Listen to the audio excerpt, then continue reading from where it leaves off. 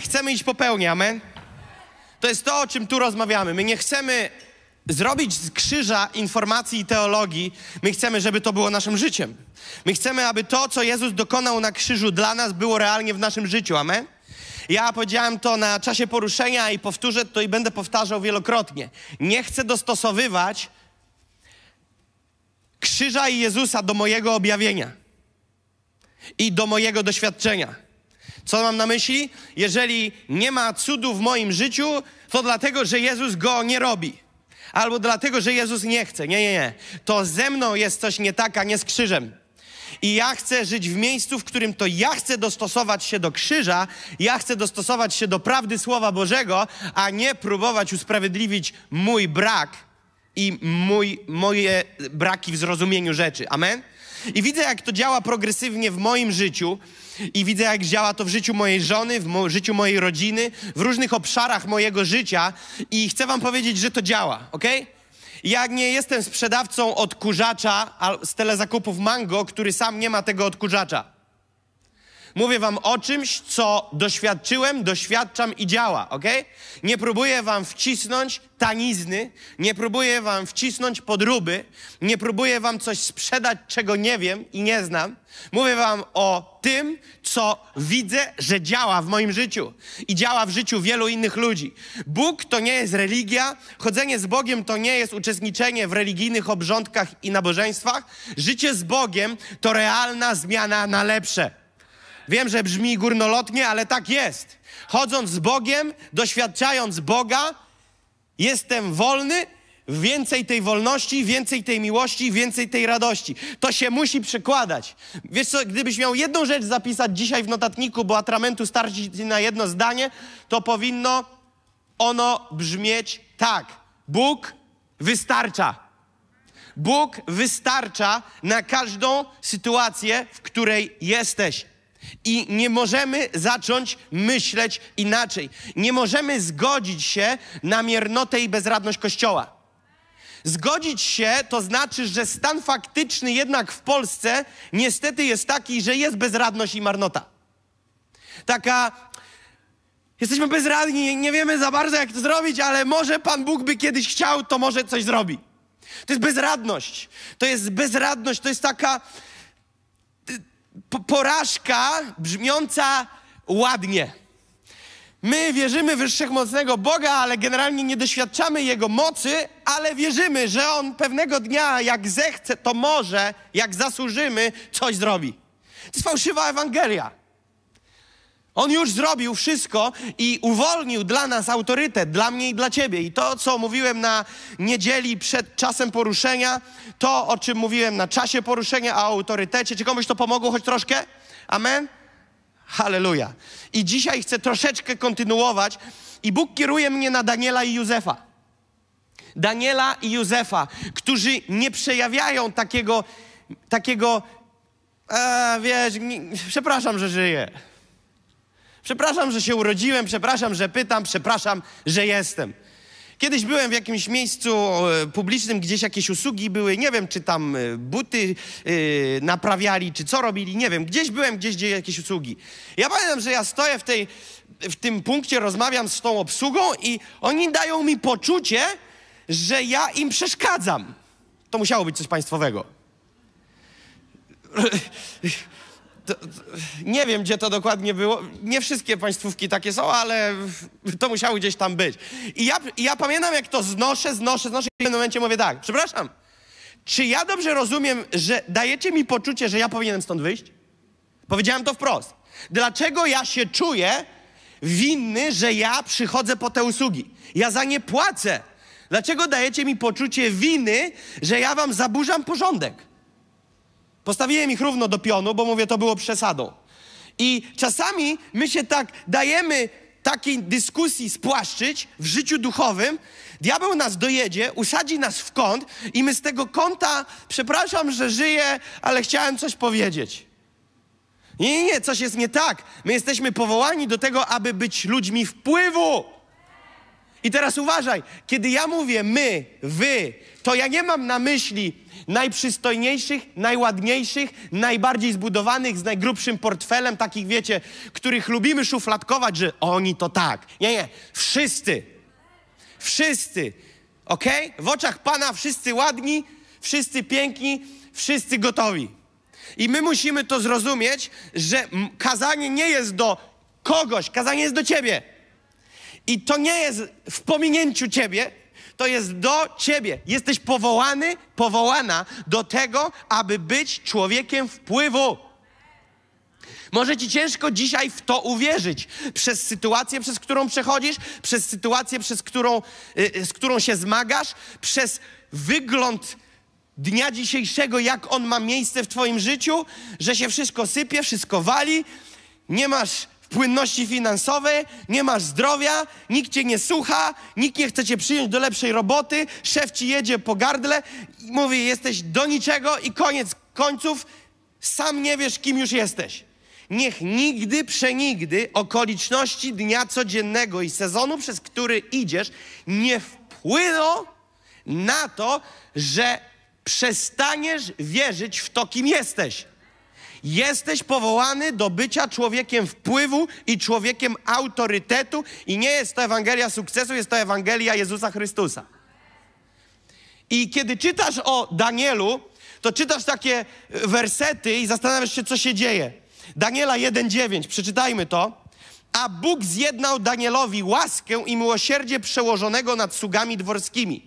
A więc on wszedł w miejsce wpływu, on wszedł w miejsce przychylności ludzi wpływu, ale dlaczego? Ponieważ to Bóg zjednał Danielowi łaskę w ich oczach.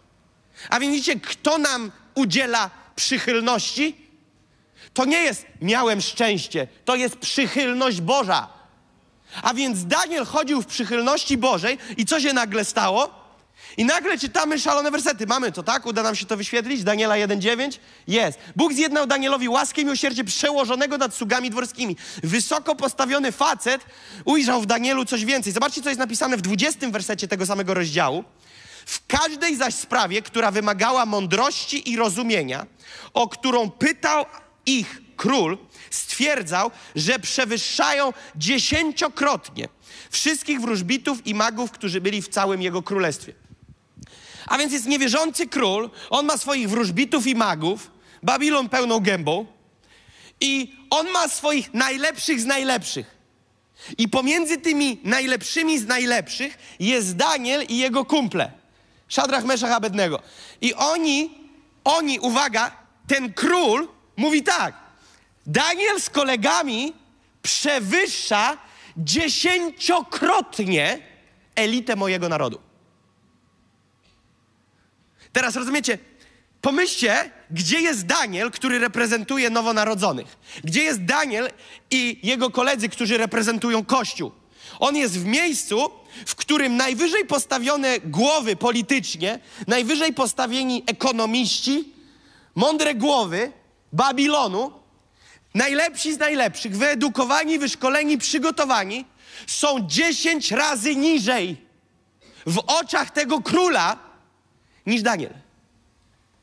Pomyśl sobie, jak bardzo Bóg postawił Daniela wysoko i obdarował go. Pamiętacie, co tu jest napisane? O każdą radę, którą pytał, która wymagała mądrości i rozumienia. A więc czym obdarzył Bóg Daniela? Mądrością i rozumieniem. To był facet, który kumał czacze. To Bóg mu to udzielił, a nie, że on się taki urodził. O, ja jestem z takiego biednego domu, moja mama nic nie umiała, mój tata nic nie umiał, więc ja też nic nie będę umiał. Czemu tak myśleć, skoro to Bóg udziela? Nie twoja mama i tata. Bóg. Bóg. Zobaczcie, co jest napisane dalej. Teraz jest kosmos. Jesteśmy? Nie rozmawiajmy jak możemy. Patrzcie, co dalej jest napisane. W księdze Daniela w drugim rozdziale 46 do 48 wersetu. Teraz zobaczcie, co się dzieje, bo to jest kontynuacja. Ja wam po kolei czytam. 46 do 48 jest kosmos. Wtedy król Nabukadnezar padł na swoją twarz i oddał cześć Danielowi. I rozkazał złożyć mu ofiary z pokarmów i kadzidlane. Potem odezwał się król i rzekł do Daniela: Zaprawdę wasz Bóg jest Bogiem bogów i Panem królów. On objawia tajemnicę, gdyż ty mogłeś odsłonić tę tajemnicę. Potem wyniósł król Daniela na wysokie stanowisko, hojnie go obdarował i powołał go na namiestnika całej prowincji babilońskiej i na naczelnika zwierzchnika wszystkich magów babilońskich. Daniel ląduje w takiej pozycji wpływu, że na oczach dworzan król Babilonu pada na twarz przed Danielem. Król nigdy przed nikim nie pada.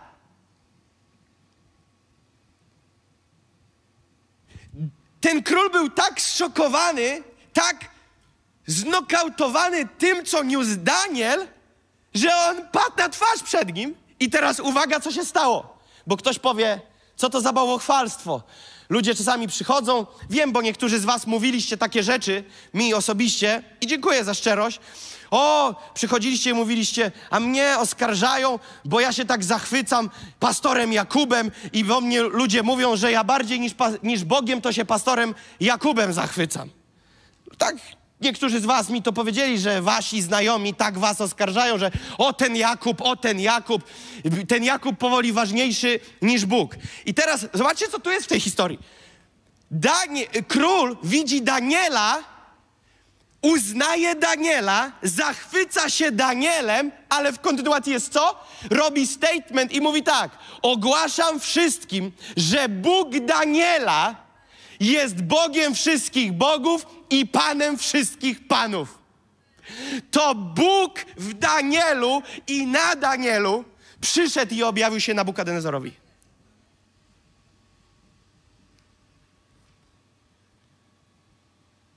Bóg chce Ciebie używać do tego, żeby ludzie byli zaszokowani, zauroczeni i aby się im dziób szeroko otworzył.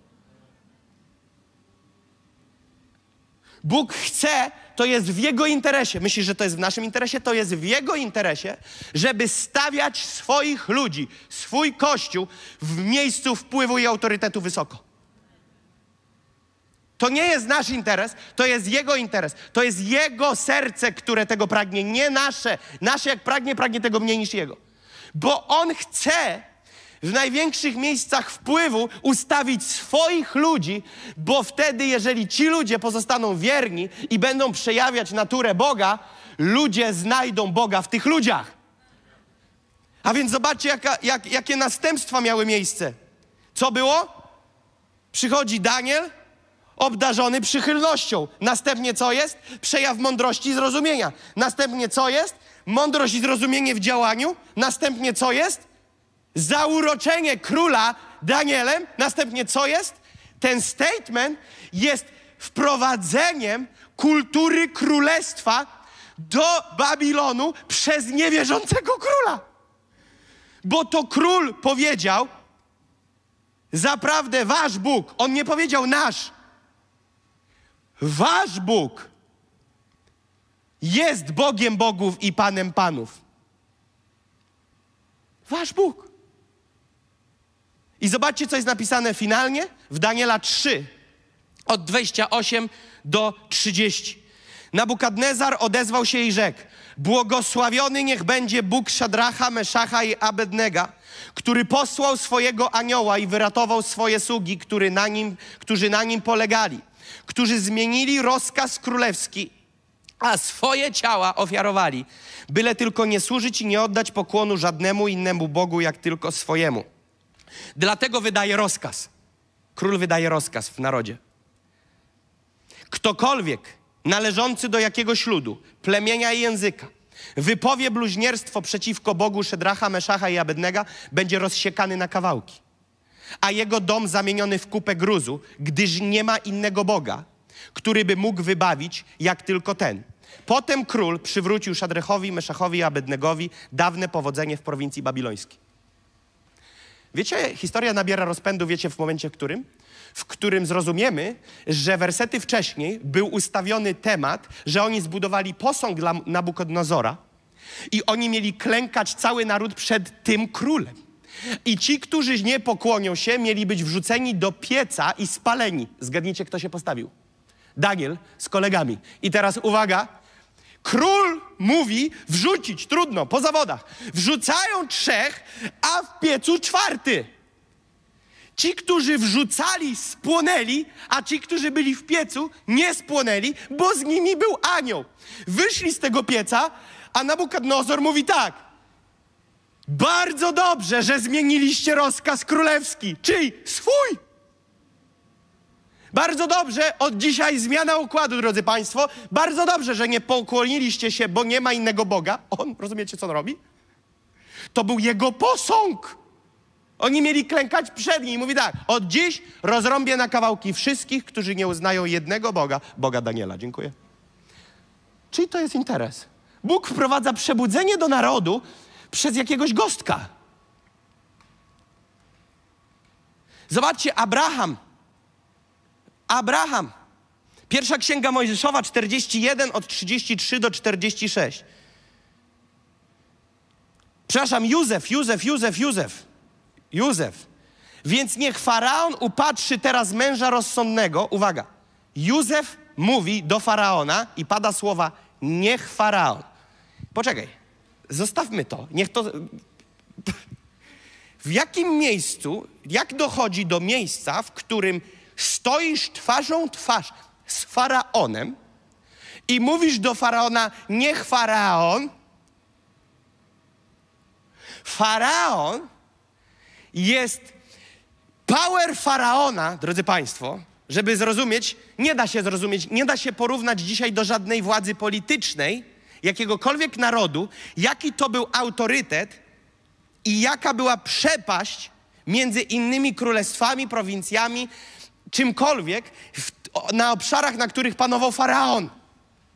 Faraon to nie był pionek, to nie był jakiś prezydent jakiegoś tam państewka. Faraon to była taka potęga militarna, że głowa mała. I nagle finał jest taki, że stoi twarzą w twarz nim Józef. Ten Józef, który był w studni, sprzedany przez swoich braci. To ten Józef, który jechał jako niewolnik, sprzedany przez swoich braci, jechał do Egiptu. Jak wjeżdżasz do Egiptu? Jako kto? Niewolnik. Jesteś sprzedany. Wiesz, kto go kupił? Kupcy.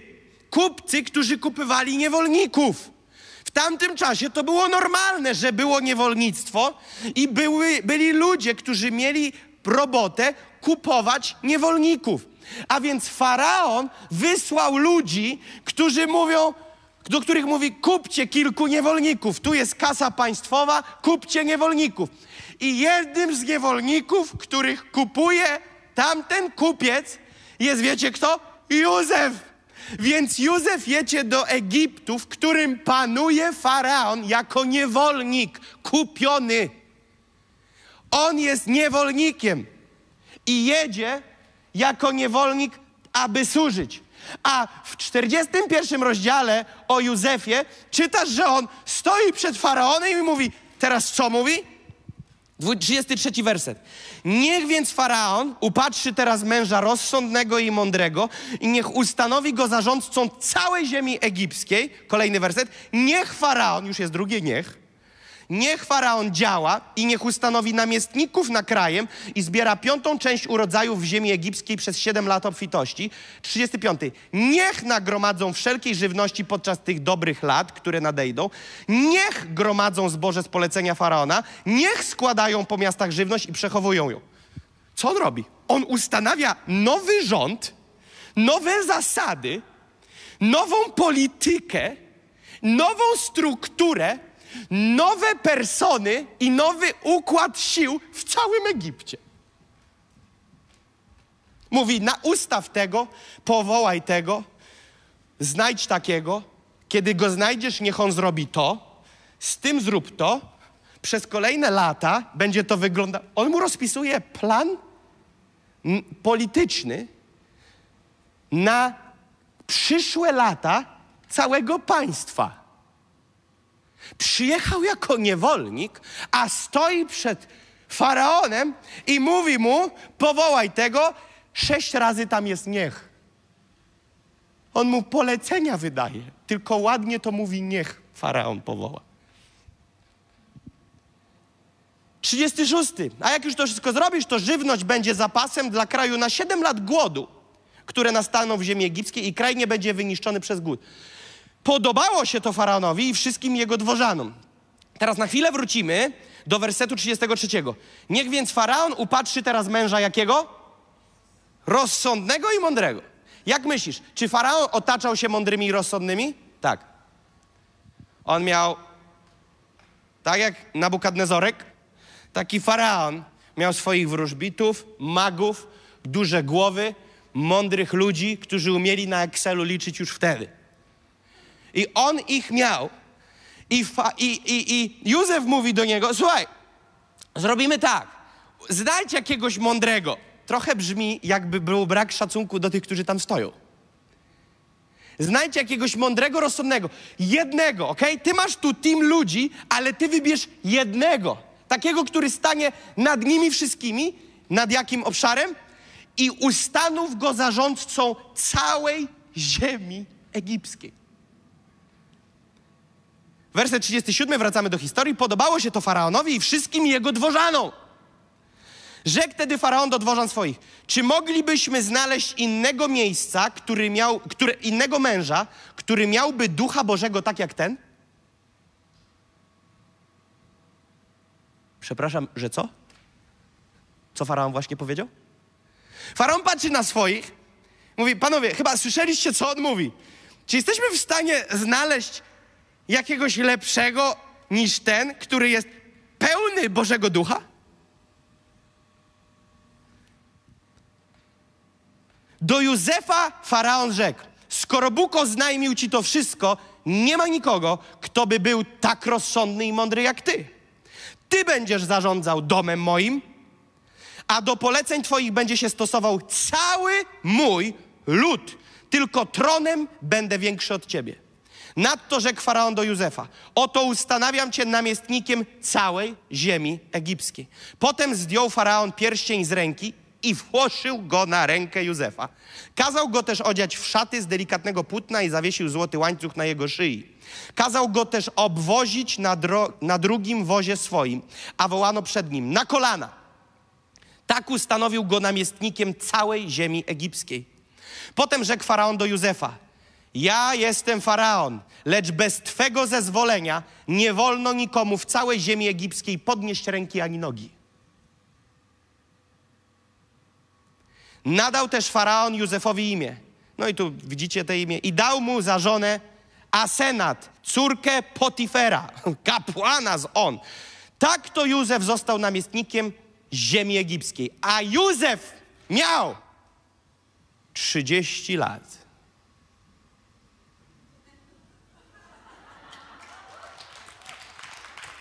Trzydzieści lat gdy stanął przed faraonem, królem Egiptu. Potem wyszedł Józef od faraona i objeżdżał całą ziemię egipską. Sprzedali cię i jedziesz jako niewolnik. Nikt o tobie nie ma prawa wiedzieć, a zostajesz postawiony najwyżej, najwyżej, najwyżej. Nie da się wyżej. I faraon rozpoznał w nim Bożego Ducha. Widzisz, to tam się nie da złożyć CV na taką pozycję. Nie da się mieć takiego wykształcenia, że wysyłasz list motywacyjny do faraona i mówisz: Ustanów mnie namiestnikiem na całym Egiptem. Uwaga, prośby, wymagania są takie. Bez mojej zgody nikt nie może kiwnąć nogą ani ręką Proszę obwiesić mnie złotem i srebrem. Chcę zarządzać całym Twoim domem. Daj mi swój drugi wóz, co ma znaczenie. Na koronacji daj mi pierścień ze swojego palca na mój palec, złote naszyjniki i niech każdy wie, że ja tu dowodzę i tylko Ty będziesz wyższy ode mnie jedynie pozycją polityczną, ale ja wszystkim zarządzam. Jak myślisz, ktoś by potraktował te CV normalnie? Na te pozycje nie było naborów. Z wolnej stopy wchodzisz, dzień dobry jestem. Bóg go tam wsadził. I zgadnij, czy się coś zmieniło względem tamtych czasów, a dzisiaj? Czy Bóg nie jest zainteresowany, aby wsadzać swoich ludzi w miejsca wysokie, wpływowe, aby sprowadzać przez tych ludzi Boże błogosławieństwo i Bożą wolę?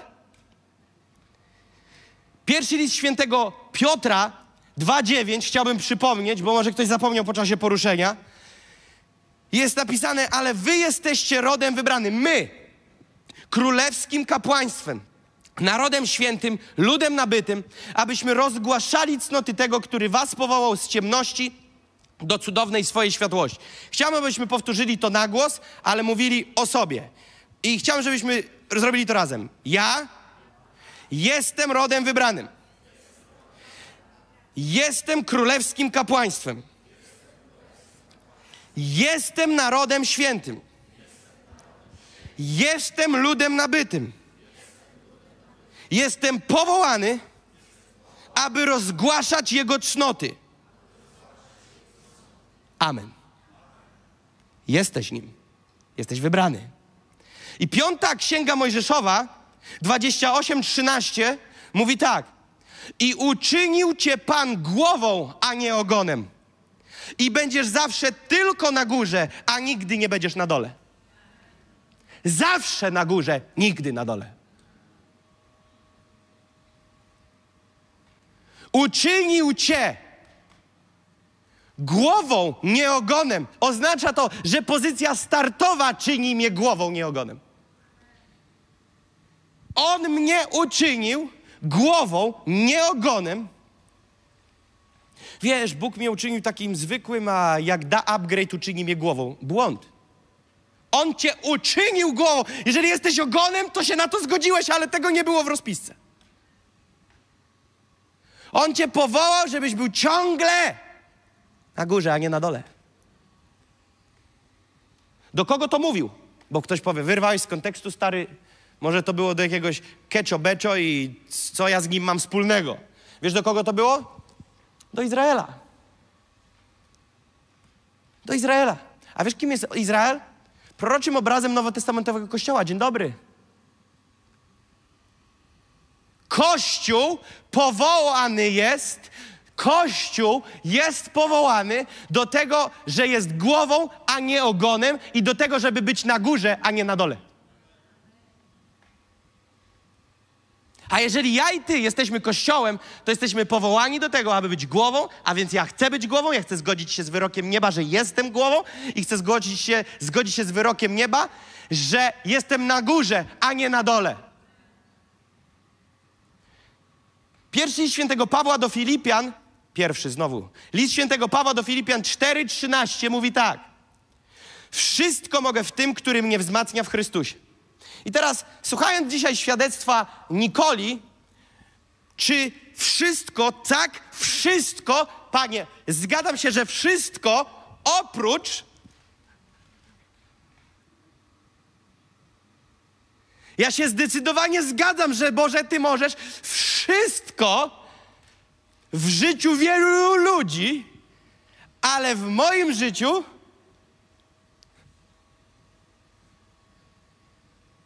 Jaki masz standard oczekiwania, że co Bóg uczyni w Twoim życiu? Kiedy ostatni raz sprowokowałeś cud? Kiedy ostatni raz po prostu krzyczałeś jak ta kobieta w Starym Testamencie do króla, weź mnie królu pod obronę, weź mnie królu pod obronę. Tam jest napisane, że ten król dla swojego bezpieczeństwa wziął tą kobietę pod swoją rękę, bo już miał dość, bo ona już tak na niego wjeżdżała, że już on miał dosyć. Dla natręctwa jej mówi, wezmę ją, bo mnie zarżnie. Kiedy ostatni raz napierałeś tak na niebo?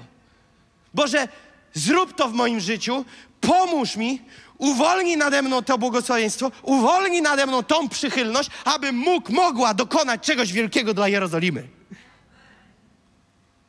Czemu my mamy myślenie na zasadzie, okej, okay, ginę szybko, więc pomodlę się, żeby było to trochę wolniej. Boli bardzo, pomodlę się, żeby troszeczkę mniej. Nie mam piątego palca, nie będę się modlił o piątego palca. Pomodlę się o znalezienie obuwniczego, który pomaga czteropalcowym. Dlaczego tego typu modlitwy, gdzie po prostu zgadzamy się na bidę, zgadzamy się na te okradzenie, zgadzamy się na te miejsce na dole, ogon ciągnięty gdzieś po zakurzonych kątach i tak już jest i Panie Boże, Wszechmocny. Jak śpiewać później Waymerkę? Jesteś wszechmocny, Ty czynisz cuda. Ja bym wychodził do toalety. Gdzie są nasze oczekiwania, że Wszechmocny uczyni wszechmocne rzeczy w moim życiu? Biblia mówi, wszystko, wszystko mogę w tym, który mnie wzmacnia. Wszystko. Jak wielce otworzyłeś w swoim życiu puszkę ze słowem wszystko.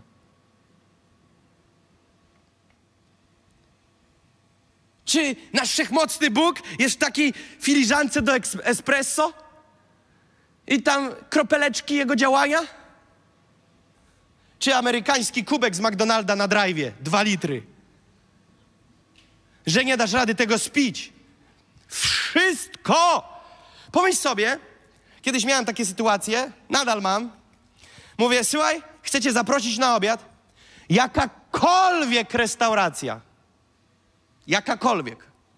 No, ale to, e, to, ta, e, jakakolwiek, rozumiesz? Ale to jest jakiś budżet. Jakakolwiek restauracja na terenie Warszawy. E, ale ja nie wiem, bar mleczny? Restauracja, chcecie uhonorować? Wybierz jaką chcesz na terenie całej...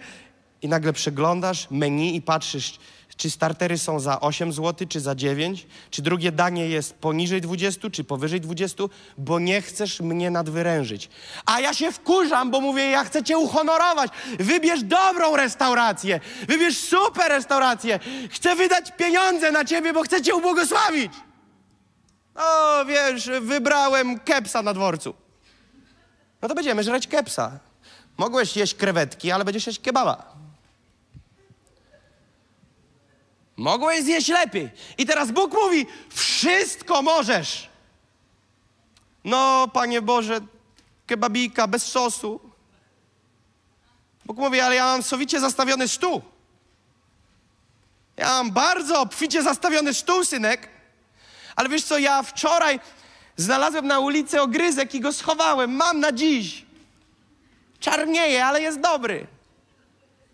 Ty, ale ja mam dla ciebie zastawiony stół. Bóg bardzo mocno mówił do mnie dziś w nocy i w ostatnich tygodniach o tym, że mówi: pchnij Kościół w miejsce autorytetu. Pchnij Kościół. Popychaj.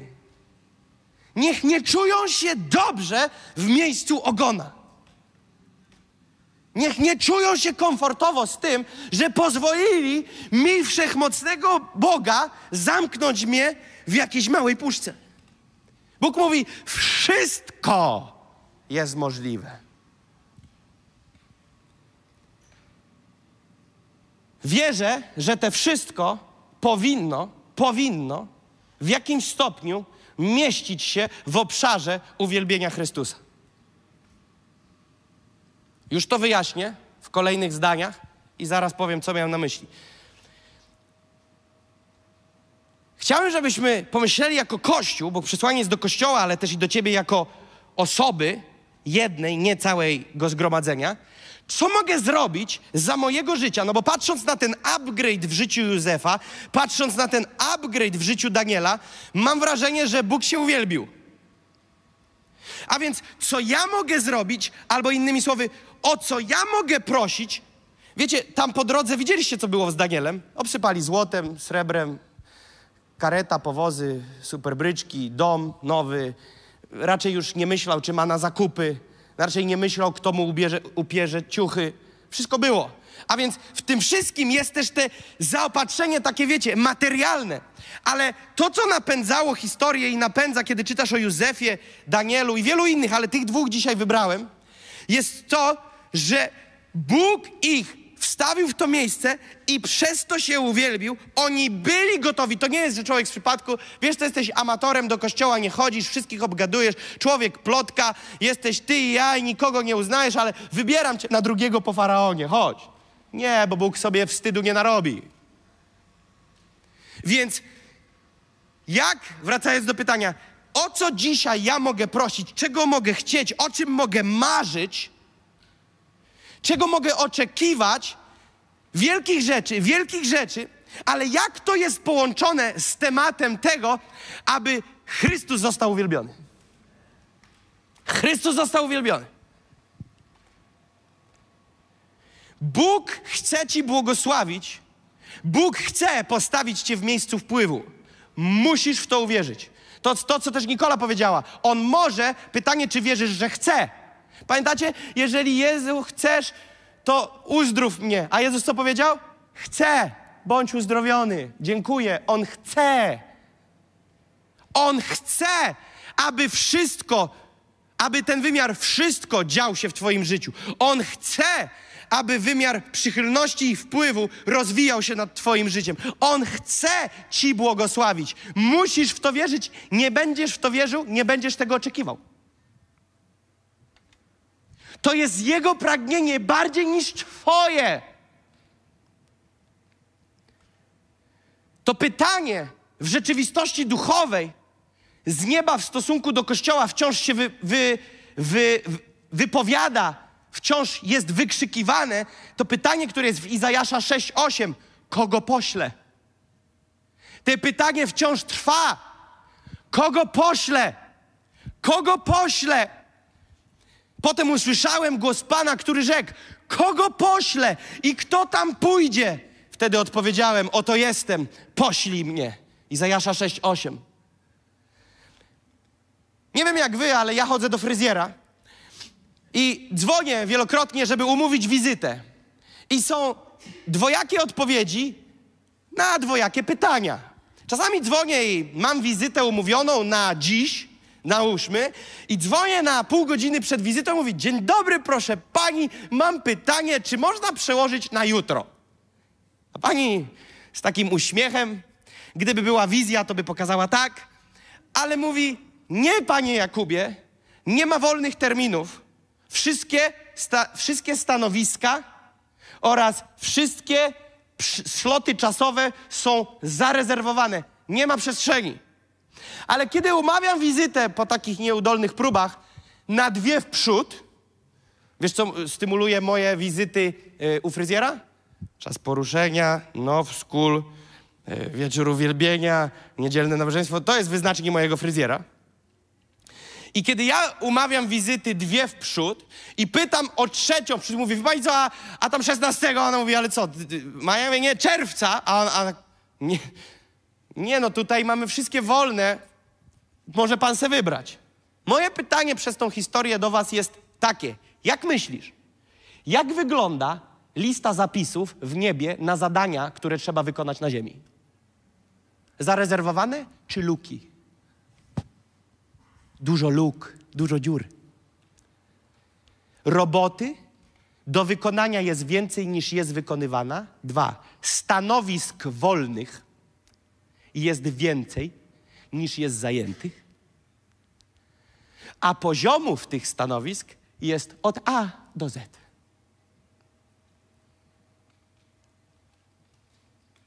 Jest mnóstwo obszarów, w które trzeba wjechać z butami, a nikt nie wjeżdża. Wiesz czemu?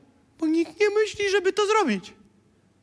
Bo ten mój wszechmocny Bóg, on jest od moich bólów brzucha. I to tyle.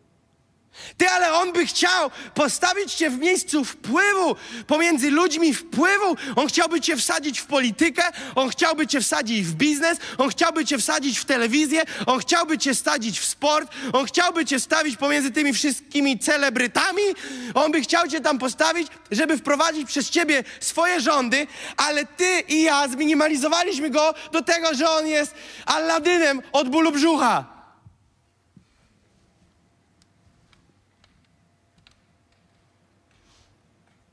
Stanowisk. Powiem tak, moje zrozumienie i spędzanie czasem przed Panem wnioski, jakie mi wypala na sercu, są takie, że im wyższe te stanowiska i bardziej wpływu, tym więcej tam jest dziur.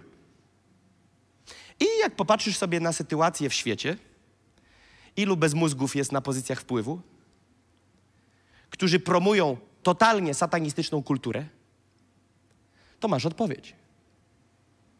Ani be, ani me o Bogu. W Stanach Zjednoczonych jest wprowadzona teraz nowe zajęcia w szkole. Satanizm. Dzieci uczą o satanizmie. Proszę bardzo, wprowadzajmy dalej. Dopóki się Kościół nie obudzi i nie wejdzie w miejsce wpływu, nie na dole, a na górze, nie ogona, a głowy, to ktoś będzie za nas podejmował decyzję. I będziemy patrzeć na ten bogaty świat, pełen pieniążków, jakości. I będziemy wzdychać, Boże, gdyby się Jennifer Lopez nawróciła i oddała dziesięcinę, kupilibyśmy budynek. Ble. A czemu nie modlić się, aby pomiędzy nami powstał człowiek, który po Jennifer Lopez na jakimś koncercie wejdzie i wyśpiewa wszelka władza i moc i majestat. Ale nie, Boże, wysyłamy listy do Jerozolimy, wpychamy karteczki w ścianę płaczu za Jennifer Lopez, niech się nawróci. Okej, okay, halleluja, jak Jenny się nawróci, ale my powinniśmy wejść na te stanowiska. My powinniśmy się tam wbić i rządzić. A nie, ktoś, była taka akcja 2000, nie wiem, okolice 2000, między 5 a 10, nagonka, że dawali polskim kadrowiczom y, akcję, że jak ktoś chce się wyłonić, że jest wierzącym w Boga, to może. I robili takie urywki, że piłkarz mówił, no, y, nie wstydzę się Jezusa i koniec. I to jest wielkie wyznanie, że mamy chrześcijańskich piłkarzy. Serio? To jest Max? I później ci sami ludzie mają cztery koleżanki w ciągu weekendu, z którymi sypiają, chodzą do klubów nocnych, chodzą na panie lekkich obyczajów, chleją, ćpają, ale nie wstydzę się Chrystusa. Bzdety, bzdety i jeszcze raz bzdety. Ostatnio w naszym kraju, nie powiem nazwiska, promowane nazwisko człowieka, który na jednym z filmów opowiada, jak to Bóg go uwolnił z nałogów, a niefortunnie YouTube tak to zrobił, że włączył się drugi film z datą, tym samym czasem wrzucony na jego kanał, tego człowieka, więc to nie, że ktoś wygrzebał coś i na jakiś kanał wrzucił z jego śmieci z przeszłości, tylko ten człowiek to wrzucał i wrzuca filmik z samochodu, może ktoś widział, nazwisk nie podaje, i mówi, no kuchu, wiesz, pie to wszystko, bądź silny, silna wola jest najważniejsza, jest system, hasz, kurczę, sprawdzam filmik wcześniej, Jezus Chrystus mnie uwolnił, zapraszam na spotkanie, będę dzielił się świadectwem o tym, że Jezus uwalnia, a za chwilę kuku, puku. Myślę, co to kurczę w ogóle jest? To jest antyświadectwo. To już lepiej w ogóle by mógł nie wspominać. Bo jak tak wygląda przejaw Boga w jego życiu, to ja przepraszam, ale nie dziękuję. My musimy wjechać kości z kościołem pełnej, pełnego wymiaru w ten świat i powiedzieć co nieco o świętości, pokazać co nieco świętości, Pokazać, że wybór Chrystusa to nie porażka, a zwycięstwo. Pokazać, że jesteśmy silni. Pokazać, że jesteśmy wpływowi. I skończyć padakę pod tytułem, że jesteśmy błędem statystycznym.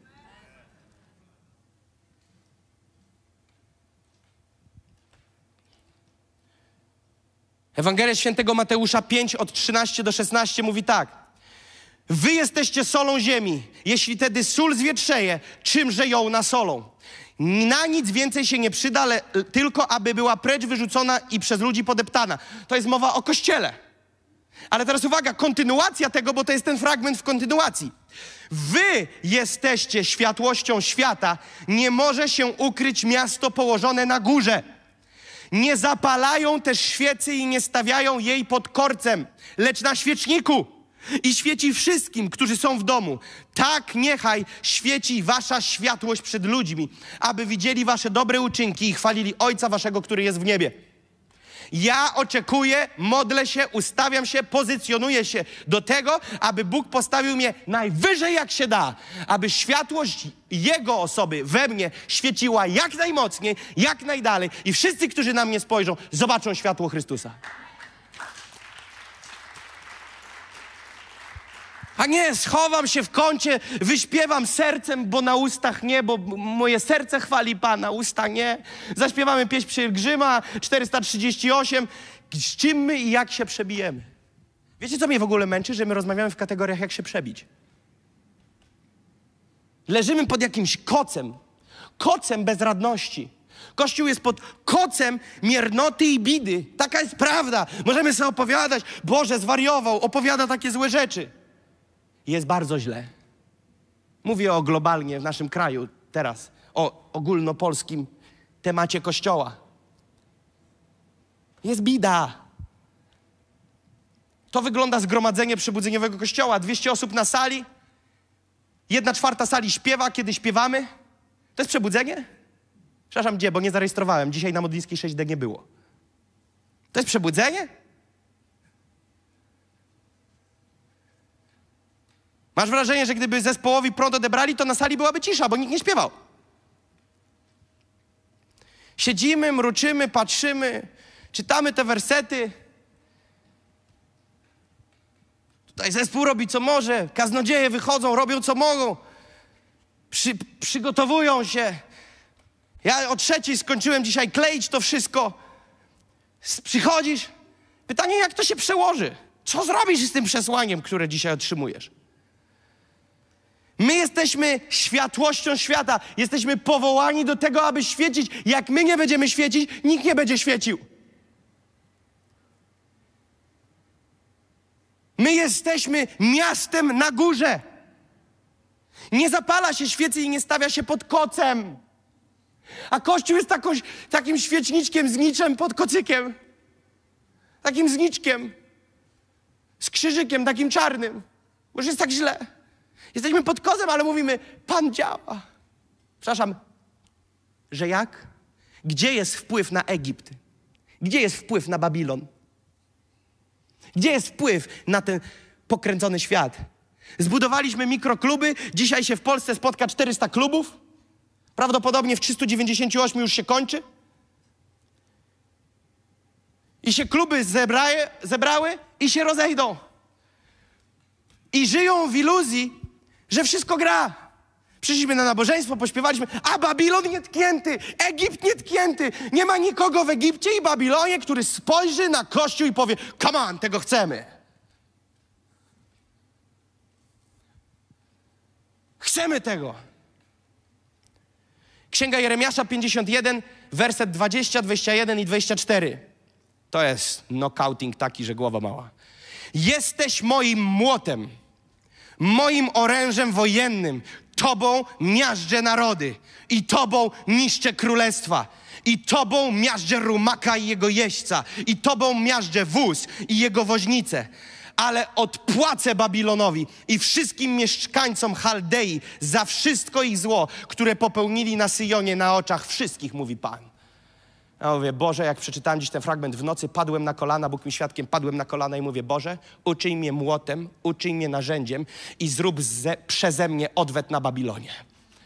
Zrób przeze mnie, ze mną odwet na Babilonie. Użyj mnie jako sierpa. Na Babilonie, na Królestwie Ciemności. Użyj mnie, uzdolnij mnie wyposaż mnie, daj mi power, przychylność, wpływ. Chcę zrobić taką rozpierduchę, taki odwet nad Babilonem, jakiego jeszcze nie oglądano. Amen? Księga Ageusza 1:9 mówi tak. Liczyliście na wiele. Jak z wielu wierzących w naszym kraju liczyło na wiele? Amen? Wiele, liczyliśmy na wiele. Pan coś zrobi, Pan uczyni nową rzecz, Pan dokona wielkich rzeczy, Pan rozpęta przebudzenie, Pan przyprowadzi miliony do, do siebie. Hale, hale, halleluja. Patrzcie teraz, liczyliście na wiele, lecz oto jest mało. A gdy to przynieśliście do domu, zdmuchnąłem to. Dlaczego? Mówi Pan zastępów. Z powodu mojego domu, który leży w gruzach, podczas gdy każdy z Was gorliwie krząta się wokoło własnego domu.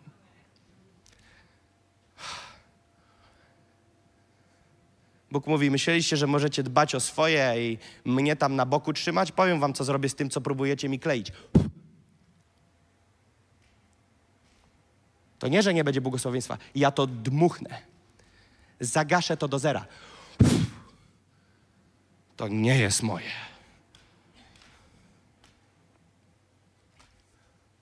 To jest brutalne, ale to jest faktyczne, prawdziwe. Liczyliście na wiele, Bóg mówi. Bóg mówi do kościoła: liczyliście na wiele, a tu mało. Dlaczego jest mało, Bóg mówi?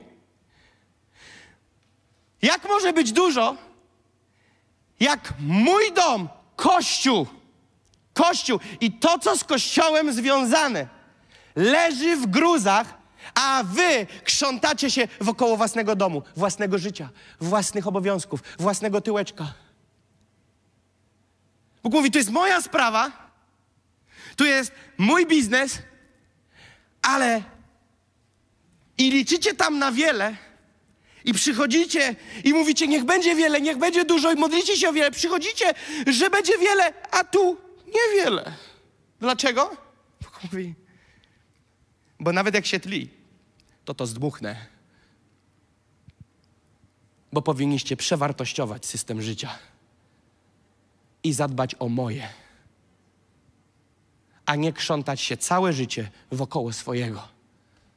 I teraz to jest Ageusza 1.9, to jest bardzo ważne. Ageusza 1.9. I teraz przeskakuję do 2, 6, 7, 8 i 9, czyli dalej. To jest po kolei. Ageusza 2, 6, 9. Gdyż tak mówi Pan zastępów. Jeszcze raz, za małą chwilkę poruszę niebiosa i ziemię morze i ląd stały. Poruszę wszystkie narody tak, że napłyną kosztowności wszystkich narodów i napełnię ten dom chwałą, mówi Pan zastępów. Moje jest srebro i moje jest złoto, mówi Pan zastępów. Przyszła chwała tego domu będzie większa niż dawna, mówi Pan zastępów. I miejsce to obdarzę pokojem, mówi Pan zastępów. A więc Bóg mówi, okej, okay, stan faktyczny jest taki, że jest niewiele, że jest źle, bo krzątacie się wokoło swego. Ale jeżeli dostosujecie się do 1.9 i zajmiecie się nie swoim, a moim, to wtedy ja jeszcze raz, za małą chwilkę, co to oznacza? Bóg jest gotowy zareagować na reakcję Kościoła. Bóg chce, żeby Kościół zrobił krok, a on od razu za małą chwilkę wchodzi. Kiedy Kościół chce, uwierz mi, z nieba się leje. Kiedy Kościołowi się nie chce, zakorkowane niebo. Zabetonowane. I Bóg mówi, jeżeli wam się zachce, odłożycie swoje, przejdziecie na moje, to ja za malutką chwilkę jeszcze raz zrobię to, mogę to zrobić i to zrobię, bo to jest mój biznes, bo to jest mój dom. Co on mówi? Co zrobi? Co zrobi? Poruszę niebiosa i ziemię, brzmi jak przebudzenie. Poruszę niebiosa i ziemię, morze i ląd stały. Poruszę narody. Zacznie się coś dziać w narodach. I co zrobi? Ha, poruszę je tak, że napłyną kosztowności. To nie jest duchowe kosztowności. Mowa tutaj jest złoto, srebro, obfitość, finanse, których w kościółku wiecznie nie ma poruszę i przy... I, i, napłyną kosztowności narodów i napełnię ten dom chwałą. Moje jest srebro i moje jest złoto, mówi Pan zastępów. Przyszła chwała będzie większa niż dawna. To jest wiele obrazów w tym wersecie, ale to, co chcemy wyłuskać, wyłuskujemy właśnie teraz. Księga Psalmów 69:10 mówi tak bo gorliwość o dom Twój pożera mnie. Bo gorliwość o Twój dom pożera mnie. A więc jest coś wewnątrz psalmisty, coś się w nim urodziło. Jakiś wymiar gorliwości, który sprawia, że te coś w nim odpala go do aktywności za dom Boży.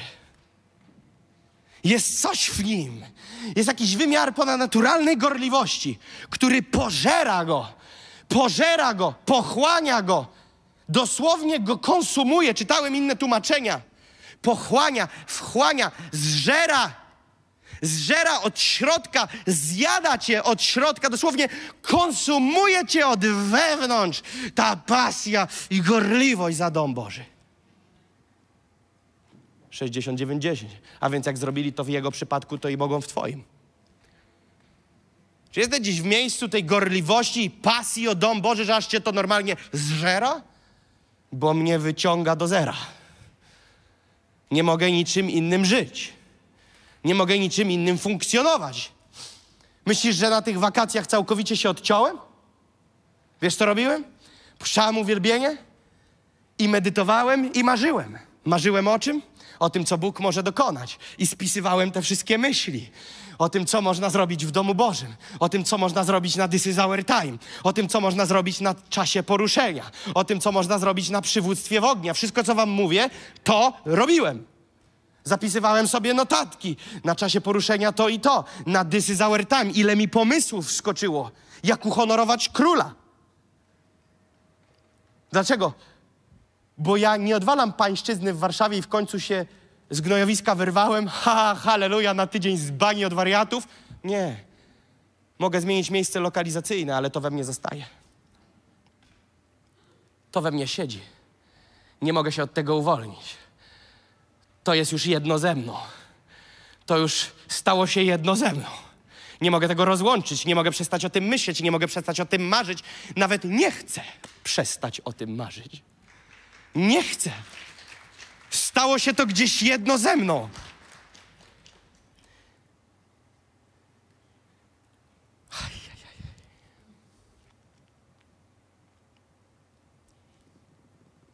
Myślę, jak to rozegrać, bo się nie wyrobimy. Dajcie sekundkę.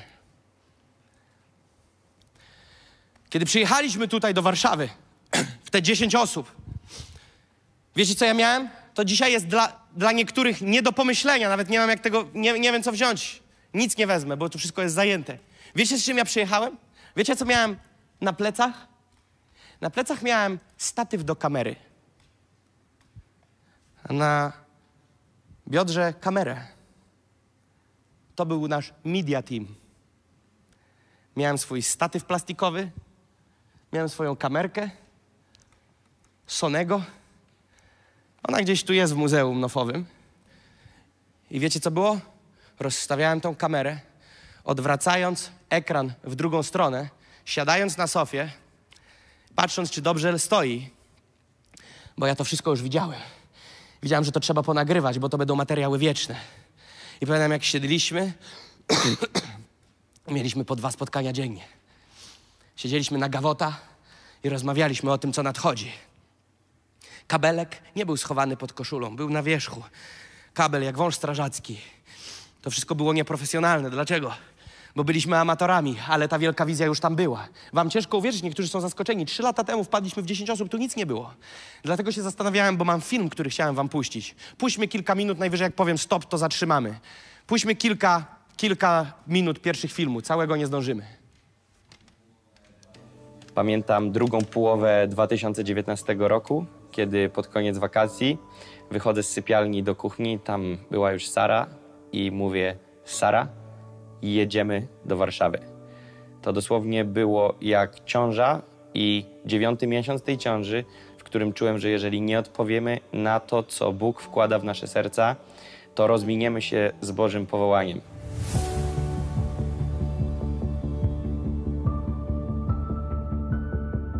Rozumiejąc wymiar tej wizji, rozumiejąc ogrom tej wizji, e, ja nie miałem dnia i nocy, abym o tym nie śnił, nie myślał, nie marzył. Wiedzieliśmy, że tej wizji nie da zrealizować się e, we dwoje. Wiedzieliśmy, że do tej wizji potrzeba dziesiątek, setek ludzi. I nie zapomnę tego, kiedy Bóg powiedział bardzo wyraźnie do mnie, że On pośle ludzi, w których wkłada pragnienie widzenia Polski płonącej dla Jezusa, którzy będą częścią, będą partycypować w niesieniu tej ceny realizacji tej wizji. Przyjechaliśmy do Warszawy w dziesięcioosobowym składzie. Takim obrazem tego, w jaki sposób Bóg nas złączył, jest sytuacja Dawida i Noemi, którzy byli w tym czasie e, narzeczeństwem. E, pamiętam, jak Dawid był w Indonezji i będąc w Indonezji zadzwonił do mnie, e, wysłał mi wiadomość, że Bóg wkłada przekonanie w jego serce, że to, co my planujemy zrobić w Warszawie, bo usłyszał, że planujemy przeprowadzić się do Warszawy, powiedział, że jest gotowy na poświęcenia i że chcą się przeprowadzić. E, Nie znałem wtedy jeszcze Noemi, mieliśmy tylko relację i wcale nie za głęboką z Dawidem. E, Kiedy Dawid wracał z Indonezji, postanowiłem zagrać wabank i powiedzieć: Dawid, jeżeli jesteście gotowi z Noemi, to chciałbym spotkać się z wami od razu po waszym przylocie. I oni obydwoje, zanim kawa, którą zamówiliśmy, przyszła do nas do stolika, oni już powiedzieli, że wchodzą w to na 100%. Więc to było totalne szaleństwo. Kiedy dziś patrzymy na Now Church, to każdy mniej więcej wie, jak to wygląda i, i że są to, y, są to ludzie, którzy pragną wielkich rzeczy. Wtedy była to wizja, która kołatała tylko w moim i mojej żony sercu, która nie ujrzała jeszcze światła dziennego, więc tak naprawdę potrzeba było ogromnej wiary, aby uwierzyć w to, co wychodziło z moich ust, aby wejść w to i położyć swoje życie za tą wizję. Przyszedł czas końcówki kwietnia, początku maja, kiedy przyjechaliśmy w dziesięcioosobowym składzie, e, gdzie zaczęły się pierwsze spotkania e, w domu u Dawida i Noemi, którzy dzisiaj są pastorami wykonawczymi tego miejsca. Powtarzałem non-stop te zdanie, e, które wybrzmiewało w pierwszych tygodniach do tej naszej dziesiątki. Mówię, pamiętajcie, jak to zaraz wszystko się zacznie zaczną pojawiać się tłumy ludzi, zaczną pojawiać się setki ludzi, zaczną się ogromne zgromadzenia. Musimy być gotowi. E, I wiedziałem, że ufają, ale ciężko było w to uwierzyć, e, dlatego że nadal spotykaliśmy się w dziesięcioosobowym gronie, w skarpetkach w pokoju, a mówiliśmy o tym, że zaraz zaczną się wielkie rzeczy. To były tygodnie, w których my się spotykaliśmy dzień w dzień, 7 dni w tygodniu. Czasami było to 14 razy w tygodniu, dlatego że bywały dni, w których spotykaliśmy się dwa razy dziennie.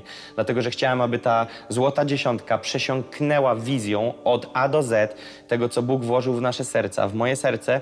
I pamiętam, że kiedy skończyły się tygodnie, postanowiliśmy wyjść na powierzchnię i zacząć szukać obiektu, w którym będziemy mogli się spotykać. Wiedzieliśmy, że potrzeba obiektu dużego, w skali mm, naszego narodu ogromnego, dlatego że chcieliśmy znaleźć obiekt, który pomieści po 500, 600 do 700 osób. I stoimy w miejscu, w którym jest 19 czerwca. E, jesteśmy tu dwa miesiące. Wiemy na 100%, że jesteśmy tutaj z Bożej woli. E, modlimy się, działamy aktywnie. Cały nasz team gdzieś tu po tej Warszawie krąży i szuka przestrzeni, gdzie możemy się znaleźć. Także my w tej chwili e, jedziemy dalej działać i wierzymy, że w te kilka dni z Bożą pomocą do, do, doświadczymy cudu i będziemy mogli znaleźć jakąś nieruchomość. Do zobaczenia. Pamiętam, że e, poczuliśmy w sercu, że Bóg chce, abyśmy zorganizowali wydarzenie Czas Poruszenia, które odbyło się w Centrum Konferencyjnym E10. Datę tego wydarzenia wyznaczyliśmy na 12 dni do przodu. To nie jest normalne robienie eventu kilkusetosobowego na 12 dni w przód. Ludzie często potrzebują miesięcy, aby podjąć decyzję o wzięciu udziału, o przyjechaniu z innych miast.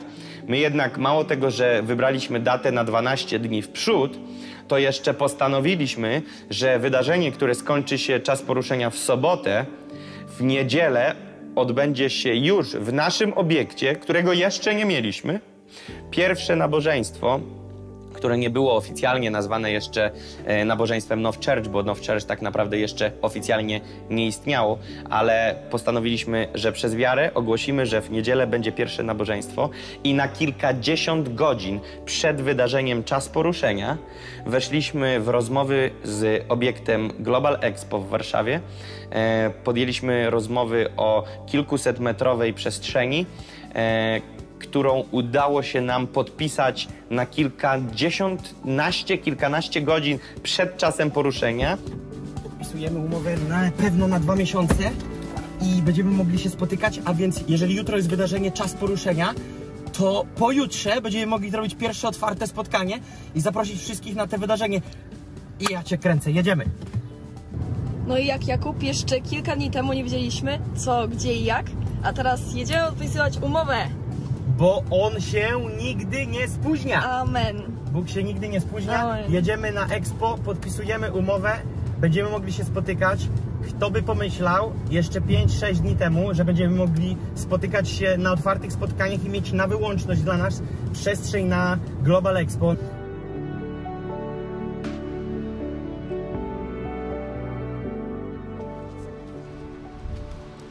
Mamy to. Gadys. Tutaj bez szczegółów. Global Expo. Mamy umówkę na spotkania. Najbliższe dwa miesiące na pewno. A więc mogę powiedzieć tylko jedno. Praise the Lord. Cuda się zdarzają. Tu powinno być tak. Choćbyś miał wiarę jak ziarnko gorczycy i rzekłbyś temu obiektowi, stań się mój. A wierzyłbyś w sercu swoim, będzie twój. Mieliśmy marzenie i od początku z tym marzeniem tu przyjechaliśmy, że jak najszybciej rozpoczniemy spotkania tu w Warszawie. No ale żeby robić te spotkania, potrzeba miejsca. A żadnego miejsca nie dane nam było znaleźć. Ogłosiliśmy Wam, że będzie to wydarzenie Czas Poruszenia, które jest dzisiaj. I założyliśmy z naszym teamem, bo tak czuliśmy, że prowadzi nas Bóg, że będziemy mogli rozpocząć spotkania codzienne od dnia następnego po sobocie 27 czerwca. I wiecie, został tydzień do wydarzenia, czyli tydzień temu w sobotę, a my nie mamy żadnego budynku. Przyszedł weekend, minął, przyszedł poniedziałek, my nie mamy nic. I raptem zaczynasz się zastanawiać, czy się pomyliłeś. Nie podważasz tego, ale zawsze przychodzi konfront. Jedna z naszych dziewczyn z teamu miała sen około trzech miesięcy temu. I w tym śnie ona widziała cztery litery. E, X, P, O. Expo. A ja mówię, twój sen jest super, potwierdza nam, że w październiku powinniśmy tam zrobić. Nie połączyłem kropek, że być może to chodzi o tą salę, ale sprawdziłem i zadzwoniłem. Wiecie, naj... widzieliście to tam za płotem, nie? To tam obok. To, to, to, to, to, jest, to jest, wiecie, no za daleki wymiar. I kiedyś dzwoniłem o ofertę, nie, nie ma szans. W środę zadzwoniliśmy ponownie. W środę wieczorem otrzymaliśmy ofertę. W czwartek rano podjęliśmy negocjacje i wczoraj rano podpisaliśmy umowę.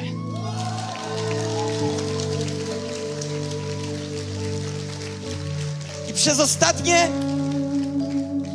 24 godziny, dzień i noc, nasi ludzie tam za płotem przygotowują wam miejsce na jutro. Mamy wszystko gotowe. W umowie mamy, że mamy dostęp 24 na dobę.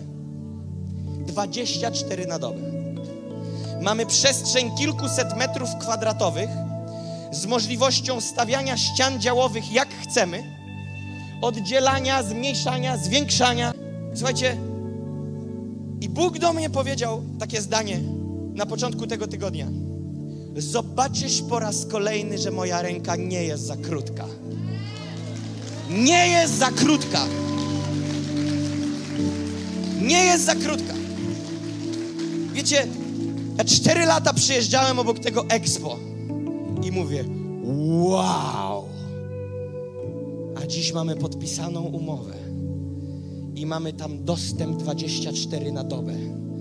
I jutro o godzinie 10 mamy pierwsze, teraz uwaga, historyczne, historyczne, bardzo historyczne spotkanie o godzinie 10 w centrum targowo-kongresowym Modlińska 6D. I od tego dnia rozpoczynamy coś, co wierzę, że się już nie skończy aż do końca. W nocy z piątku na sobotę i z soboty na niedzielę wolontariusze, którzy brali udział w czasie poruszenia na E10, w nocy przygotowali spotkanie niedzielne i pracując w nocy przygotowywali od razu. Miejsce na szkółkę dla dzieci, e, kawiarnię, jakąś mini, mikrokawiarnię, e, jakąś recepcję, jakieś miejsce, gdzie mogliśmy przywitać ludzi, e, jakieś maty dla dzieci, jakieś miejsce dla młodzieży. Zespół uwielbienia skołowaliśmy z soboty na niedzielę, instrumenty załatwiliśmy w nocy. To było nienormalne, ale kiedy przyszło na salę ponad 100 osób, w niedzielę wiedzieliśmy, że niemożliwe stało się możliwe i mogliśmy zobaczyć pierwsze owoce tego, o czym mówiliśmy kilka tygodni wcześniej. To jest otwarte zaproszenie, ale nie wszyscy będą tego częścią. Dlatego, że my będziemy jechać bardzo szybko i bardzo mocno i intensywnie i będzie trzeba płacić mocną cenę swojego czasu i życia, żeby uczestniczyć w tym projekcie. I chciałbym teraz pomodlić się o jedną rzecz. Jeżeli to miejsce jest dla Ciebie i ten projekt jest dla Ciebie, to żeby poprzez te najbliższe minuty i albo kilkadziesiąt minut, żeby Bóg Ci to potwierdził. Żebyś Ty nie musiał później kolejnych pół roku lub roku się zastanawiać i myśleć, czy to dla mnie, czy nie dla mnie. Wiesz dlaczego? Bo stracisz pół roku. Znamy historię dzisiaj o ludziach, którzy kiedy wchodzili na salę, usłyszeli głos od Boga, wyraźny, werbalny głos. To jest Twoje miejsce, tu powstanie Kościół. I kiedy ja słyszałem te świadectwa po czasie i jestem dzisiaj ich świadomy, wiem, że to było niezwykłe Boże prowadzenie, dlatego że ja przez kilka tygodni wcześniej mówiłem do naszej dziesiątki, że Bóg powiedział, że pośle ludzi, którzy będą częścią tego przedsięwzięcia, tej wizji, tej społeczności i tego kościoła. I trakcie, kiedy się to działo, my nie byliśmy o tym świadomi, ale Bóg wkładał w serca tych ludzi przekonanie, że to jest ich miejsce. Mamy historię ludzi, którzy przyjechali z rodzinami, z dziećmi na czas poruszenia i nie wrócili do domu do dzisiaj, bo zostali e, ze względu na to, że Bóg powiedział im, aby zostali. Salę, w posiadanie której weszliśmy, to była sala 350 metrów kwadratowych to była umowa na dwa miesiące, ale już po kilku dniach widzieliśmy, że ta sala e, będzie za mała, dlatego że zorganizowaliśmy 7 dni w tygodniu, od poniedziałku do poniedziałku, spotkania modlitewne. Nic więcej, ale spotkania modlitwy, które zaczynały się codziennie o 19, kończyły się o 22, czasami o 23. Ja pamiętam, że niekiedy kończyliśmy dnia następnego o północy pierwszej. Po pierwszej bywały wieczory, że Boża chwała w taki sposób się manifestowała, że wychodziliśmy z tej salki po pierwszej w nocy. To było szalone. I pod koniec tego dwumiesięcznego okresu wynajmu otrzymaliśmy informację od obiektu, że są w stanie z nami podpisać na kolejne cztery miesiące, czyli od września do grudnia włącznie. Nie widzieliśmy całej ścieżki w przód, ale widzieliśmy, jak Bóg krok po kroku odkrywa nam kolejne etapy i kolejne kroki i widzieliśmy, że coraz bardziej to miejsce staje się dla nas domem. Pod koniec roku 2020, czyli pod koniec tego łącznie sześciomiesięcznego najmu, widzieliśmy, widzieliśmy, że sala 350 metrów staje się dla nas za ciasna.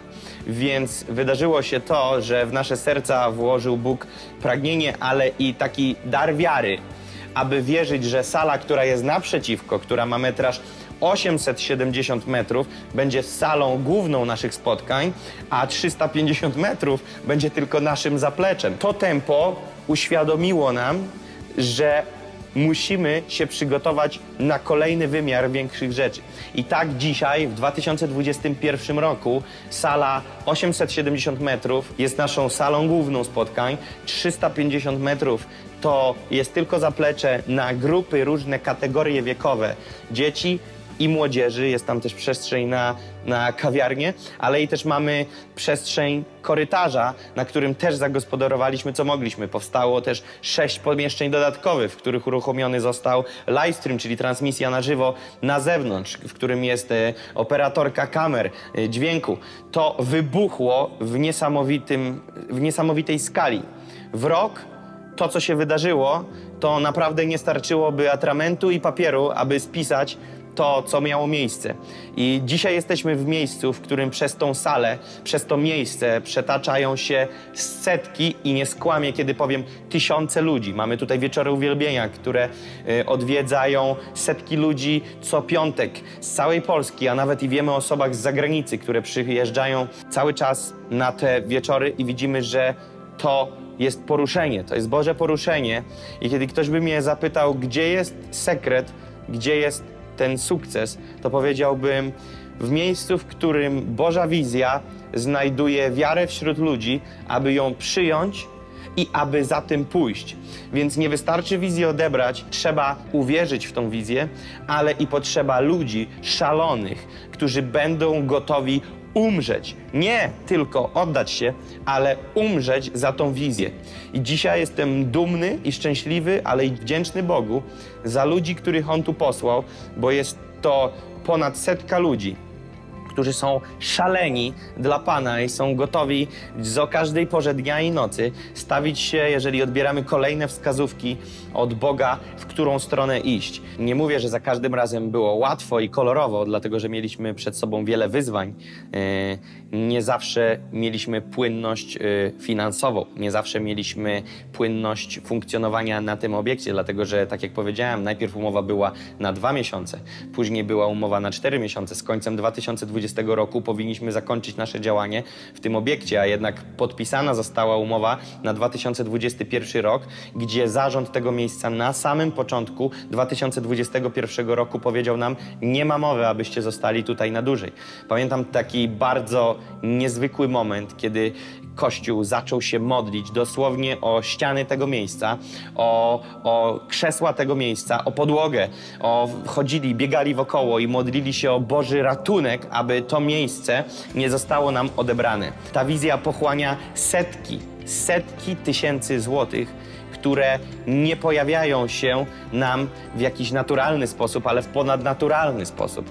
My nie dysponowaliśmy takimi finansami, kiedy tu przyjechaliśmy. Dostaliśmy obietnicę, że oliwy w bańce nigdy nie zabraknie. Więc są momenty, kiedy ta bańka jest pełna, kiedy jest w połowie, a kiedy jest już blisko dna, ale za każdym razem Bóg nie pozwala, aby oliwa w bańce wyschła, za każdym razem ją uzupełnia i jeszcze ani razu, dzięki Bożej przychylności i szczerego, hojnego serca wielu ludzi, nigdy nie mieliśmy problemu z jakąkolwiek płatnością wedle tego, co Bóg nam kładł na serce, aby realizować. Wchodząc w ten drugi rok, funkcjonowania Now Church, wchodząc w ten drugi rok funkcjonowania w Warszawie, wierzymy, że jeżeli to będzie rozpędzać się w takim tempie, minimum, w takim tempie, jak rozpędzało się przez ten pierwszy rok, to naprawdę możemy mówić o historycznych rzeczach dla tego miasta i tego kraju, a to wszystko tylko i wyłącznie na jego chwałę.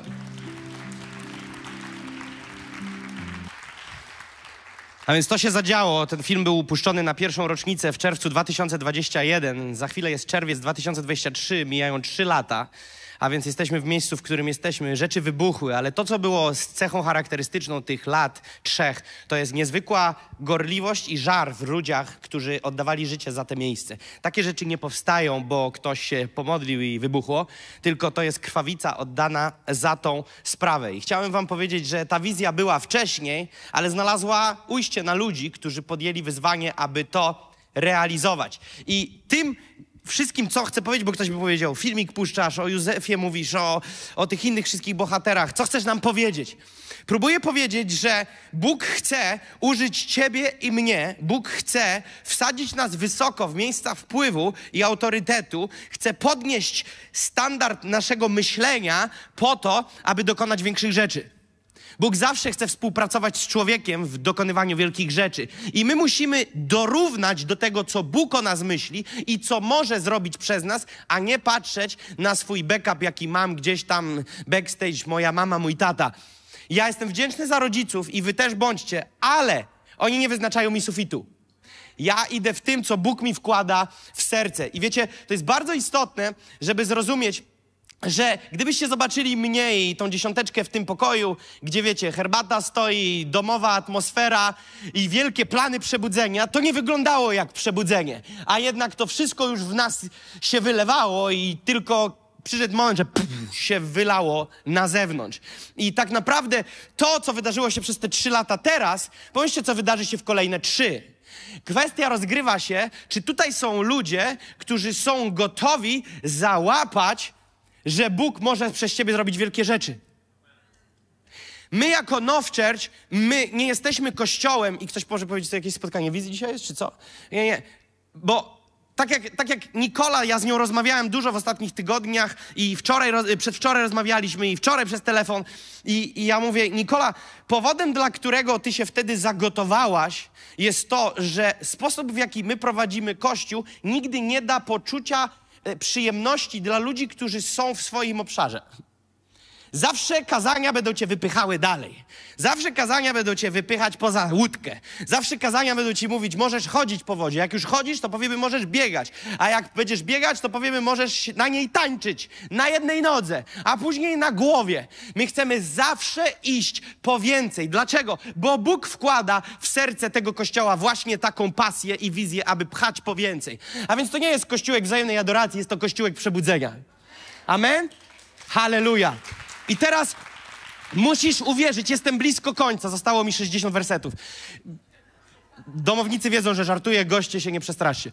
I więc teraz, kończąc blisko będąc, Michałku jeszcze nie wychodź, yy, to jest akcja taka, że musisz uwierzyć, że Bóg chce cię błogosławić i chce uwolnić nad tobą błogosławieństwo. Chce nad tobą uwolnić zdolności, talenty albo pomnożyć zdolności i talenty. Chce ci napchać zaopatrzenia w kieszeń, żebyś mógł tego użyć dla królestwa. To jest ta wojna mentalna z bezradnym kościołem, który mówi: Nic nie mogę, nic nie umiem, nie mamy wiele, co ja mogę. To jest właśnie błędne myślenie, którym diabeł się karmi i satysfakcjonuje, jeżeli Kościół tak myśli. Bo ograbia go z tego miejsca głowy i góry i sprowadza go do miejsca ogona i dołu. I zobaczcie, co jest napisane, i teraz ciągiem będę czytał. Przeczytam bez zatrzymywania się, tak mi dopomóż Bóg, wersety różne, które mówią o błogosławieństwie, które Bóg chce nad tobą uwolnić. Pierwsza Mojżeszowa 39, 3. Zaczynamy, poszli. Pan jego widział, iż Bóg jest z nim i sprawia, iż we wszystkim, co czyni, ma powodzenie. Pierwsza Mojżeszowa 39, 23. Przełożony więzienia nie musiał doglądać tego, co powierzył Józefowi, gdyż Pan był z nim i sprawił, że szczęściło mu się we wszystkim, cokolwiek czynił. Piąta Mojżeszowa 2, 7 będzie, yy, gdyż Pan, Twój Bóg, błogosławił Cię w każdym dziele rąk Twoich. Wiedział o Twojej wędrówce po tej wielkiej pustyni. Przez 40 lat był Pan, Twój Bóg, z Tobą, a niczego Ci nie brakowało. Piąta Mojżeszowa 7, werset 13 i 14. Będzie Cię miłował, błogosławił i rozmnoży cię. Pobłogosławi twoje potomstwo i płody twojej roli. Twoje zboże, twój moszcz i twoją oliwę, przychówek twojego bydła i miod twoich trzód na ziemi, którą przysiąg dać twoim ojcom. Będziesz najbardziej błogosławionym ze wszystkich ludów. Nie będzie niepłodnego i niepłodnej ani u ciebie, ani wśród twojego bydła. Piąta Mojżeszowa 8:18. Pamiętaj, że to Pan, Twój Bóg, daje Ci siłę do zdobywania bogactwa, aby potwierdzić swoje przymierze, które poprzysiąg Twoim ojcom, jak się to dziś okazuje. Powtórzę to jeszcze raz, bo to jest bomba. Pamiętaj, że to Pan, Twój Bóg, daje Ci siłę do zdobywania bogactwa aby potwierdzić swoje przymierze. Piąta Mojżeszowa 15, 6. Gdyż Pan, Bóg Twój, błogosławić Ci będzie, jak Ci obiecał, abyś wielu ludziom pożyczał w zastaw, ale Ty sam nie będziesz się zapożyczał i dawał zastawu. Będziesz panował nad wielu ludami, ale oni nie będą nad Tobą panować. Głowa, a nie ogon. Patrzcie, co dalej. Piąta Mojżeszowa 28, od 2 do 8. I spłyną na ciebie i dosięgną cię wszystkie te błogosławieństwa, jeśli usłuchasz głosu Pana Boga Twego. Błogosławiony będziesz w mieście, błogosławiony będziesz na polu, błogosławione będzie Twoje potomstwo, plon Twej ziemi, rozpód Twego bydła, miod Twojej ro rogacizny i przychówek Twoich trzód. Błogosławiony będzie Twój kosz, Błogosławione będą twoje, będzie Twoja dzieża. Błogosławione będzie Twoje wejście i Twoje wyjście. Pan Twój Przepraszam, powali Pan Twoich nieprzyjaciół, którzy powstają przeciwko Tobie. Jedną drogą wyjdą naprzeciwko Tobie, a siedmioma drogami uciekać przed Tobą będą. Pan każe, aby było z Tobą błogosławieństwo w Twoich spichlerzach i w, two, i w każdym przedsięwzięciu Twoich rąk. Błogosławi Cię na ziemi, pobłogosławi Cię na ziemi, którą daje Ci Pan, Bóg Twój. Piąta Mojżeszowa 28, 11, 13. Ponad miarę obdarzy Cię Pan dobrem w Twoim potomstwie, w rozpłodzie Twego bydła, w plonach Twojej roli, na ziemi, co do której Pan poprzysiąg Twoim ojcom, że Ci ją da. Otworzy Pan przed Tobą swój skarbiec dobra niebiosa, aby dawać deszcz na Twoją ziemię w czasie właściwym i aby błogosławić wszelką pracę Twoich rąk, tak, że będziesz mógł pożyczać wielu narodom, ale Ty sam nie będziesz pożyczał. I uczyni cię Pan głową, a nie ogonem. I będziesz zawsze tylko na górze, a nigdy nie będziesz na dole. Jeżeli będziesz słuchał przykazań Pana Boga Twego, które ja Ci dziś nadaję, abyś ich pilnie przestrzegał. Księga Jozułego 1 od 7 do 8. Bo, tylko bądź mocny i bardzo mężny, aby ściśle czynić wszystko według za- zakonu, jaki Ci Mojżesz, mój sługa, nakazał. Nie odstępuj ani w prawo, ani w lewo, aby Ci się wiodło wszędzie dokądkolwiek pójdziesz. Niechaj nie oddala się księga tego zakonu od Twoich ust, ale rozmyślaj o niej we dnie i w nocy, aby ściśle czynić wszystko, co jest w niej napisane, bo wtedy poszczęści się Twojej drodze i wtedy będzie się Ci powodziło. Pierwsza Księga Królewska 2:3. Przestrzegaj wiernie służby Pana Boga swego i chodź Jego drogami, przestrzegając Jego ustaw, Jego przykazań, Jego praw i Jego ustanowień, jakie są zapisane w zakonie mojżeszowym, aby Ci się wiodło we wszystkim, co będziesz czynił i wszystko dokądkolwiek się zwrócisz. Druga Księga Kronik 1.12.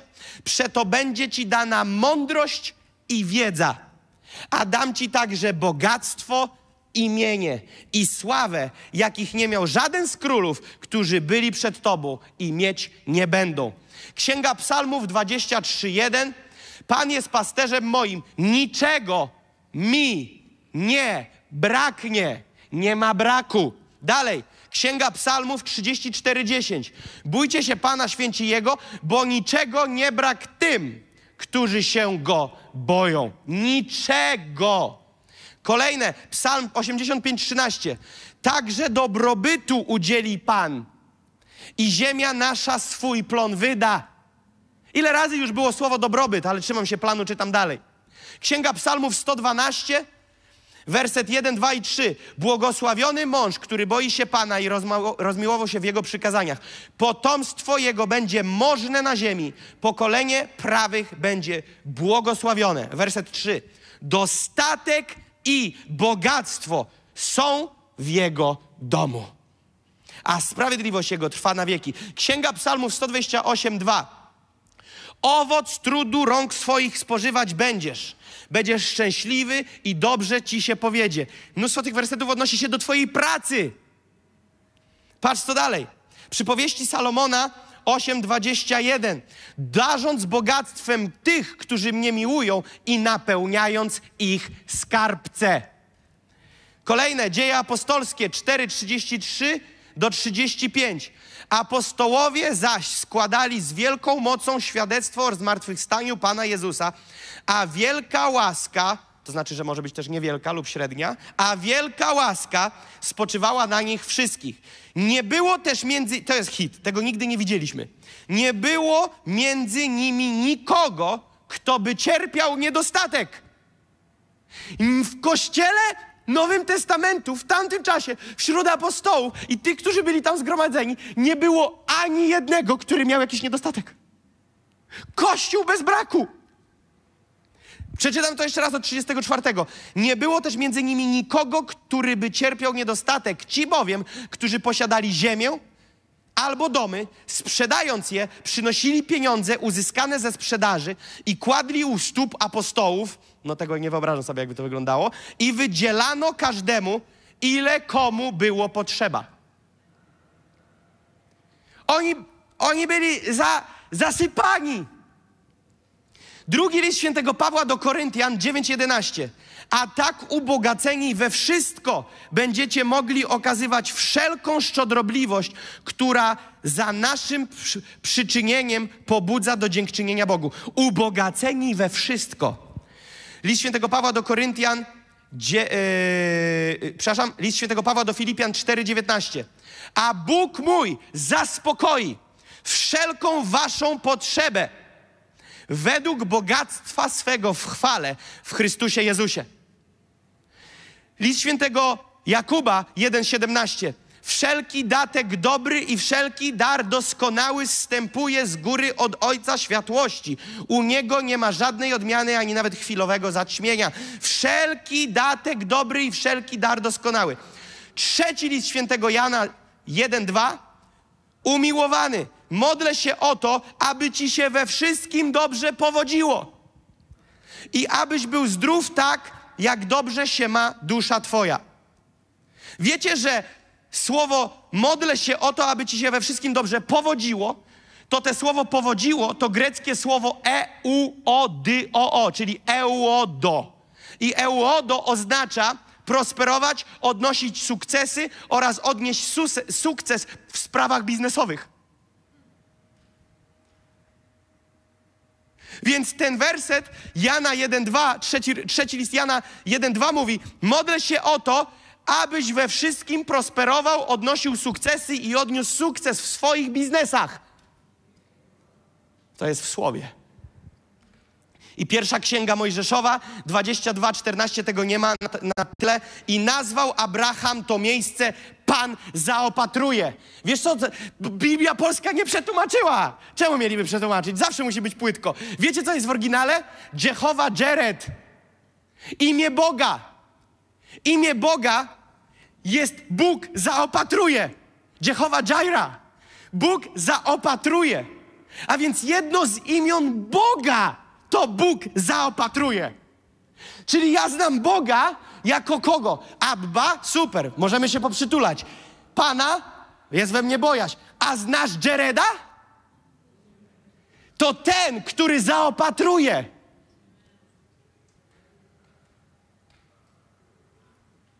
Zaopatruje mnie, moją potrzebę, moje rachunki. Dlaczego to jest takie ważne? Dlaczego to jest takie ważne? Bo my nie chcemy bezradnego kolejnego kościółka. My chcemy kościół wpływu i autorytetu, bo tak chce Bóg.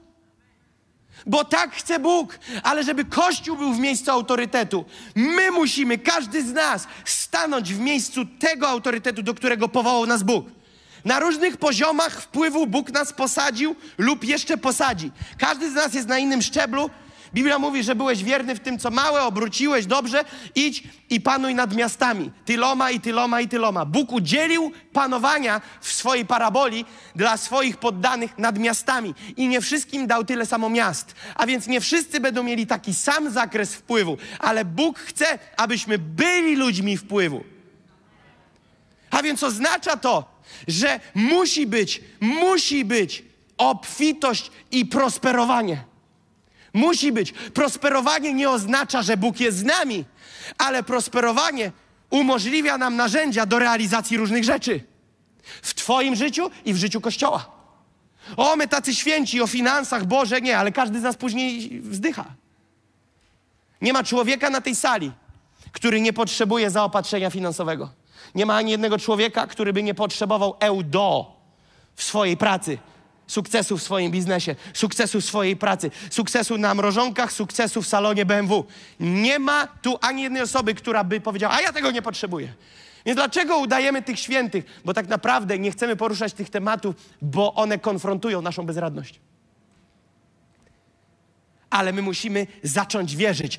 Robię coś, pracuję, wyższe stanowisko, przygotuj się, bo nadchodzę.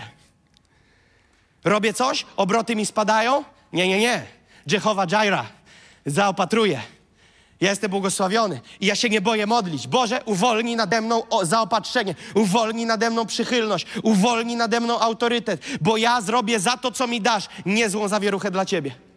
I wchodzimy w ostatni etap. Michałku, powoli możesz zapinać lejce. Kto z Was lubi Michała?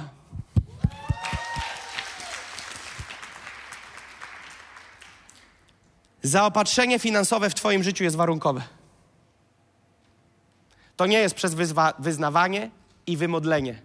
W- Zaopatrzenie finansowe w życiu ludzi jest warunkowe. Warunkiem jest dajesz, otrzymujesz. Ile dajesz, tyle otrzymujesz. Dajesz więcej, otrzymujesz więcej. I koło się powiększa.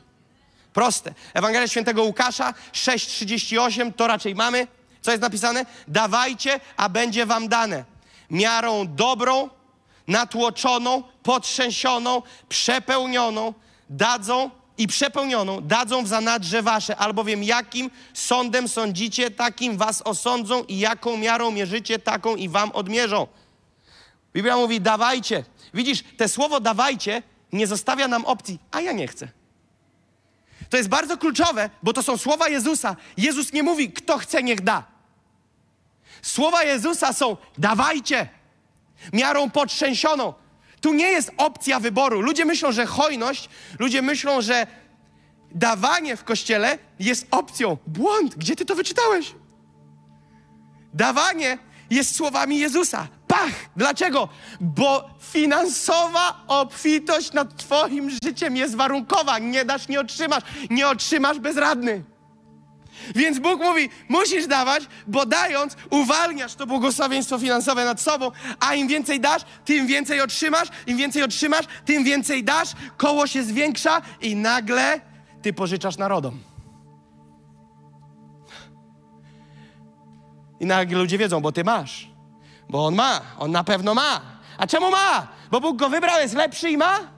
Bo był wierny. Księga Malachiasza 3, 10, 11, to było tydzień temu, ale ważne, żeby powtórzyć. Przynieście całą dziesięcinę do spichlerza, aby był zapas w domu moim. Bóg chce, aby w jego domu był zapas. Nie na styk, zapas. Mogę wam powiedzieć szalony statement, którego prawdopodobnie nigdy nie słyszeliście, chyba żebyście w ultra charyzmatycznych kościołach. Nie wiem, czy kiedyś to powiedział, ale po, po, powiem wam coś, co wierzę z tego wersetu. Wierzę, że to jest tajemnica, że gdyby w kościele wszyscy dawali dziesięcinę, byłaby obfitość z zapasem.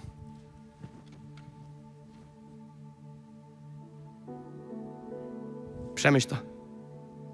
Bóg mówi, przynieście mi dziesięcinę, a będzie dostatek i będzie jeszcze zostawać. Oznacza to, że gdyby wszyscy byli wierni w dziesięcinie, mogłoby się przelewać. Bóg to dobrze zaplanował. On ma równowagę w swojej matematyce, nie bój się. On wie, jak rzeczy poukładać, żeby wszystko się skleiło. A więc przynieście całą dziesięcinę. Co to jest dziesięcina? Dziesięcina to jest 10% mojego, co dostaję. Dostanę 100 zł, ktoś mi da 100 zł premki, dycha dla Pana. Dostanę 1000, stuwa dla Pana. Dostanę 10 koła, 1000 dla Pana. Dostanę 100 koła, 10 koła dla Pana. Dostanę bańkę, 100 koła dla Pana. Myślałem sobie, gdybym urobił Huberta Urbańskiego w pytaniu za milion, dostałbym milion, to bym przyniósł 100 koła dziesięciny lekko. To tak minimalnie. Kurczę, jakbym wsieknął, bym musiał zadzwonić do kamery, żeby przyniosła większe wiadro. Przynieście całą dziesięcinę do spichlerza, aby był zapas w moim domu i w ten sposób wystawcie mnie na próbę. Mówi Pan zastępów, czy wam nie otworzę okien niebieskich i nie wyleję na was błogosławieństwa ponad miarę? Mówi, sprawdźcie mnie, sprawdźcie mnie, przynieś mi dziesięcinę, a zobaczysz. Trzeba być naprawdę zakorzenionym w swoje dogmaty, żeby tego nie zrobić. Jak Bóg mówi, wypróbuj mnie, sprawdź mnie, i zabronię potem, to jest hit, szarańczy pożerać wasze plony rolne. Wiesz, co to oznacza? Wielu z nas ma w swoim życiu szarańczę, która wyżera waszą obfitość w waszym życiu. Jakaś diabelska szarańcza sprawia, że wasz worek jest dziurawy na dole. Co włożysz, wylatuje. Co naprawisz, znowu się coś zepsuje. Jakby jakieś takie nie wiadomo co, szarańcza się do ciebie klei. Ale Bóg mówi: przynieś dziesięcinę, bądź mi wierny w finansach. To ja nie tyle co otworzę nad tobą błogosławieństwo, ale zamknę dziurę w worku i zabronię szarańczy do ciebie podchodzić. Uuu! A więc dlaczego Bóg chce cię ustanowić wysoko? I dlaczego ty powinieneś chcieć, aby Bóg cię podniósł wyżej, chociażby o jeden szczebel, bo zawsze jest wyżej, zawsze jest więcej. Dlaczego Bóg tego chce? Bo to Boży interes, aby przez ciebie wprowadzić swoje rządy. Zobacz, co jest napisane w pierwszej Mojżeszowej 12:2. A uczynię z ciebie naród wielki i będę ci błogosławił. Tu jest o Abrahamie. I uczynię sławnym imię Twoje, tak że staniesz się błogosławieństwem.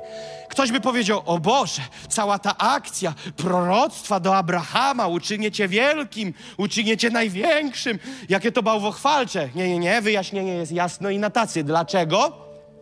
Uczynię z Ciebie naród wielki. A więc z Ciebie, przez Ciebie, w mojej mocy wyjdzie konsekwencja tego. Będą rzeczy się działy, następstwa nastaną. Kiedy Bóg coś czyni w tobie, On nie kończy na tobie. On nigdy w tobie nie rozpoczyna po to, aby na tobie skończyć. On nie uwolnił Nikoli od depresji tylko po to, aby na, nią, na niej skończyć. On przez to, co zrobił w niej, uwolni wielu. Bóg coś czyni? Wiecie, ilu ludzi się nawróciło przez to, że Bóg mnie zbawił? Myślisz, że Bóg mówi, zrobię nad tobą szandarabanda i ty zostaniesz uzdrowiony, uwolniony i nikt się o tym orzeszku nie dowie. Wiesz, co było w pakiecie? Proroctwo. Nikt tak nie czyta tych moich historii, a tak było. Uzdrowiony, zbawiony i posyłam cię do narodów, aby ludzie, przed którymi staniesz, doświadczyli mnie jako Boga cudów. W pakiecie podnoszę cię, leczę cię, wyzwalam cię, błogosławię ci, jedź szczynię cię żywą pochodnią, młotem, którym będę miażdżył Babilon. Młotem, którym będę miażdżył Babilon i zrobię odwet na Babilonie. Jędzo jedna. Diable ty, złodzieju jeden szemrany. Dobijemy ci takiego klina, że się nie spodziewasz. Zobaczcie, co jest napisane w... To tak między mną a nim. Drugi list świętego Pawła do Koryntian. Naprawdę kończę. Zostały mi dwa wersety. Drugi list świętego Pawła do Koryntian 9:8 a władny, czyli On może, jest Bóg udzielić wam obficie wszelkiej łaski. To jest początek bardzo ważny, bo później nie ma sensu czytać, jak nie wierzysz w początek. Bóg jest władny, to znaczy, że On może, ma kapitał ku temu, aby udzielić ci wszelkiej łaski. Obficie jeszcze, żeby nie było wątpliwości. Po co? Abyście, mając zawsze wszystkiego pod Boże, jaka prosperita w tym Nowczerz. Zaczęli dobrze, a teraz już prosperitę głoszą. Biblię czytamy, moi drodzy. To właśnie się chowamy często, nie czytamy tych wersetów, bo one tak tą naszą faryzejską pobożność ładnie korektorują. A trzeba sprawdzie w oczy spojrzeć. Obficie wszelkiej łaski, abyście mając wszystkiego pod dostatkiem. Jeszcze zgubiłem ważny wyraz. Zawsze. Abyście mieli zawsze wszystkiego pod dostatkiem. Teraz uwaga, przerwa, nie patrzcie co tam dalej, nie ściągajcie. A więc on jest władny, chce udzielić nam ile? Bardzo dużo, obficie, abyśmy mieli wszystkiego pod dostatkiem. O, tak, gdyby tu skończyć, to jest prosperita. A teraz jest kontynuacja i prawdziwa Ewangelia. Abyście mogli hojnie łożyć na wszelką dobrą sprawę. Bóg cię nie pompuje, żebyś otył, ale Bóg cię pompuje po to, żebyś hojnie rozdawał.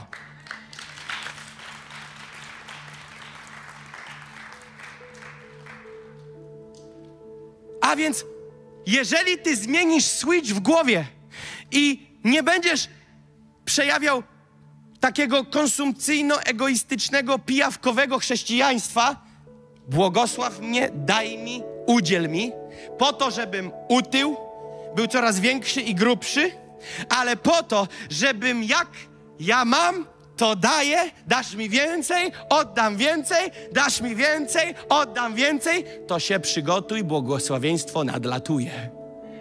Błogosławieństwo nadlatuje. On chce ci udzielić. Po co? Żeby przez ciebie udzielać.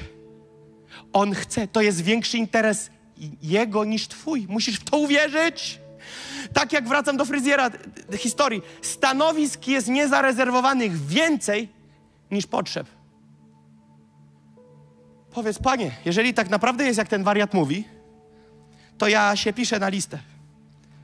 Piszę się na listę. I patrz sobie, ale ja taka mm, niegodna. Boże, serio? Dalej o tym? Że to wszystko o Pana chodzi. My jesteśmy tylko narzędziami w ręku Boga. Kimże ja jestem, że robię to, co robię? Jestem tylko zwykłym bolkiem, ale w ręku Pana jestem młotem. W ręku Pana jestem młotem. Nie zatrzymasz mnie.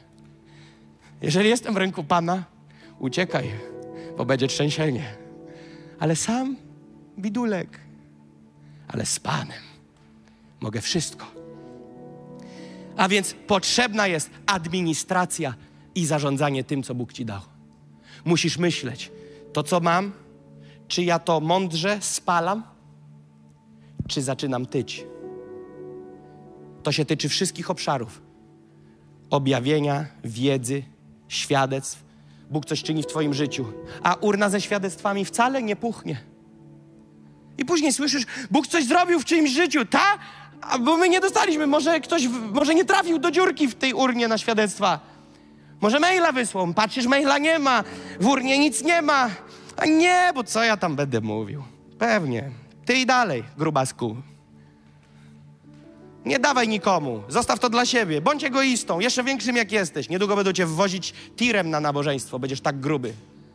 Otyły, bo ciągle pchasz w siebie. Wybiegaj to, oddaj to innym, podziel się świadectwem w kawiarni. Nie narzekaj ciągle, że miało być bez laktozy, a jest z laktozą, tylko powiedz komuś, słuchaj, tak Bóg w moim życiu działa, że przemienię bezlaktozowe na laktozowe i na odwrót. Chcesz zobaczyć? Patrz, hops. I zaczynasz życie te przelewać na ludzi. Przelewać życie, dzielić się tym, co Pan zrobił. Za każdym razem, za każdym jednym razem, jak przychodzą do mnie finanse prywatnie, ja jestem tak podjarany, bo pierwsze, co mi przychodzi, że dziesięcina rośnie, to, to jest klasika, klasika zasady. To jest moja wewnętrzna radość. Dziesięcinka rośnie, cza, cza, cza, cza, cza, cza. A później od razu w głowie myśli, kto będzie na obiadku ze mną, kto poje krewetki, za darmo oczywiście. Bo ja płacę, ja chcę, ja chcę to oddać. Ja chcę to oddać. Ja chcę być błogosławieństwem. Ja chcę być błogosławieństwem. Ja nie chcę, kurczę, puchnąć. Ja chcę błogosławić. U mnie w domu wierzę, niech będzie dostatek, błogosławieństwo, abym mógł łożyć hojnie na wszelką dobrą sprawę. Ale gdzie są ci, których mogę błogosławić? Może Ciebie ubłogosławię, może Ciebie. Mam takie sytuacje, że czasami w trakcie spotkania, miałem kilka takich chwil, mówię Wam szczerze, Sebastian gdzieś tam koło mnie krążył. Gdzie jest Sebastian? Gdzieś tu był, zniknął, jest tu. Yy, Sebastian gdzieś tam obok mnie był, kiedy się modliłem o ludzi i nagle czuję taką miłość po prostu. Niekiedy to jest głos Pana, ubłogosław kogoś finansowo, a niekiedy to jest pragnienie, które nie wynika z tego, że Bóg Ci powiedział. No ale nie biegam z banknotami, więc mówię, Sebastian, u mnie w biurze jest moja saszetka, w mojej saszetce jest portfel, w portfelu są pieniądze. Przynieś, odlicz tysiąc złotych. I nagle modlisz się o kogoś i modlisz się i po prostu pach! Kafelek dla ciebie, proszę bardzo. I idziesz dalej i mówisz, to było za mało. I przychodzisz, mówisz, tam w portfelu jeszcze jest troszkę, przynieś te jeszcze resztki, przynieś. I idziesz i jeszcze raz, jednorazowo, przy jednej modlitwie, trzy razy wracałem do jednej osoby i wciskałem w ręce, już ta osoba nie miała jak łapać. Dlaczego? Bo jest te pragnienie. Jest te pragnienie, żeby błogosławić innych. Dawać, dawać i dawać i dawać. Dlaczego? Bo On mi daje, więc ja oddaję. Więc On oddaje mi, ja oddaję Mu. On się ze mną dzieli, ja dzielę się z Nim i z Jego ludźmi. Nie szukam tym, którzy zasługują, bo gdyby tak miało być, ja bym na to nie zasługiwał i nie zasługuję i nie powinienem był dostać.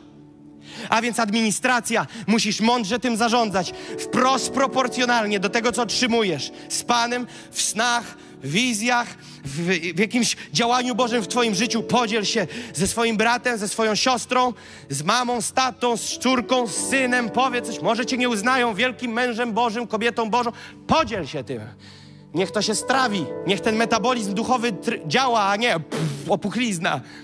Niech to idzie, dziel się tym, finanse wprost proporcjonalnie, bądź wierny w dziesięcinie. Zwiększają ci się dochody, proporcjonalnie 10% licz. Zwiększają ci się przychody, nie bądź człowiekiem dziesięciny, odpalaj na lewo i prawo. Błogosław Kościół, zbieramy na misję, wal na misję. Zbieramy na This is our time, wal na This is our time. Wal ile wlezie, więcej przywalisz, więcej dostaniesz gwoździa w drugą stronę.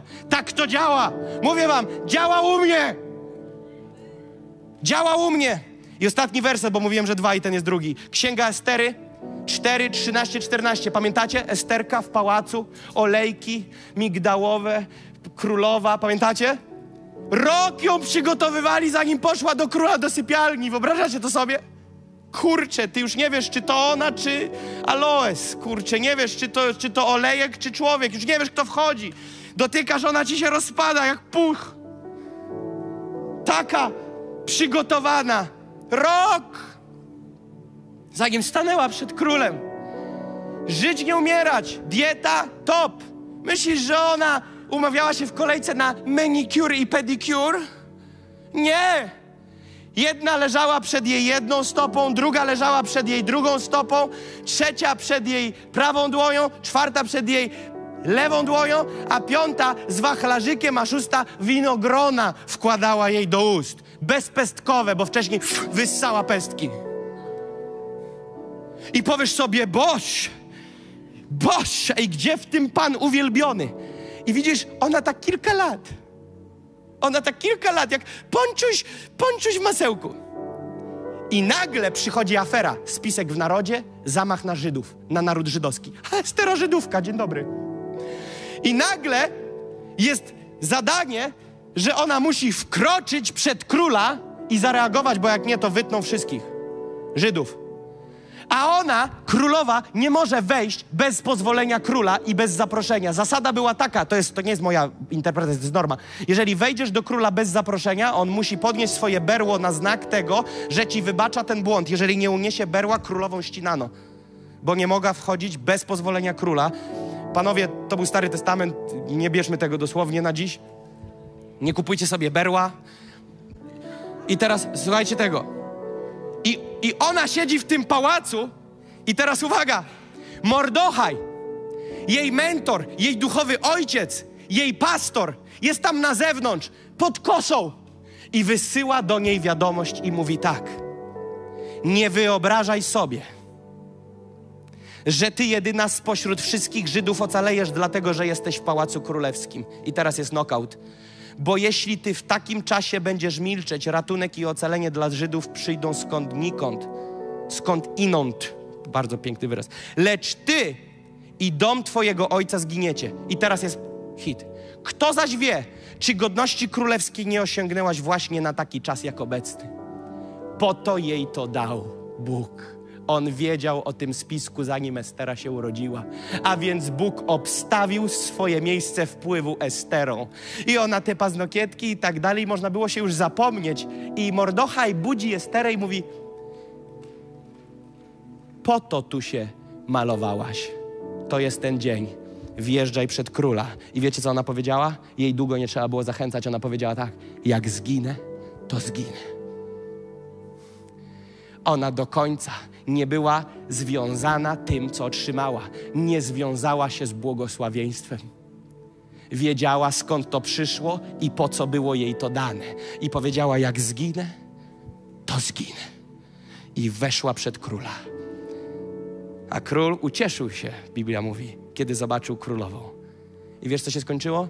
Ci, którzy zaplanowali spisek, zginęli pod, na tej samej szubienicy, którą szykowali Żydom. Bóg stawia ciebie i mnie i chce postawić cię w pałacu. Chce postawić cię w miejscach wpływu. Dlaczego? Na dany dzień, na daną chwilę, na dany moment.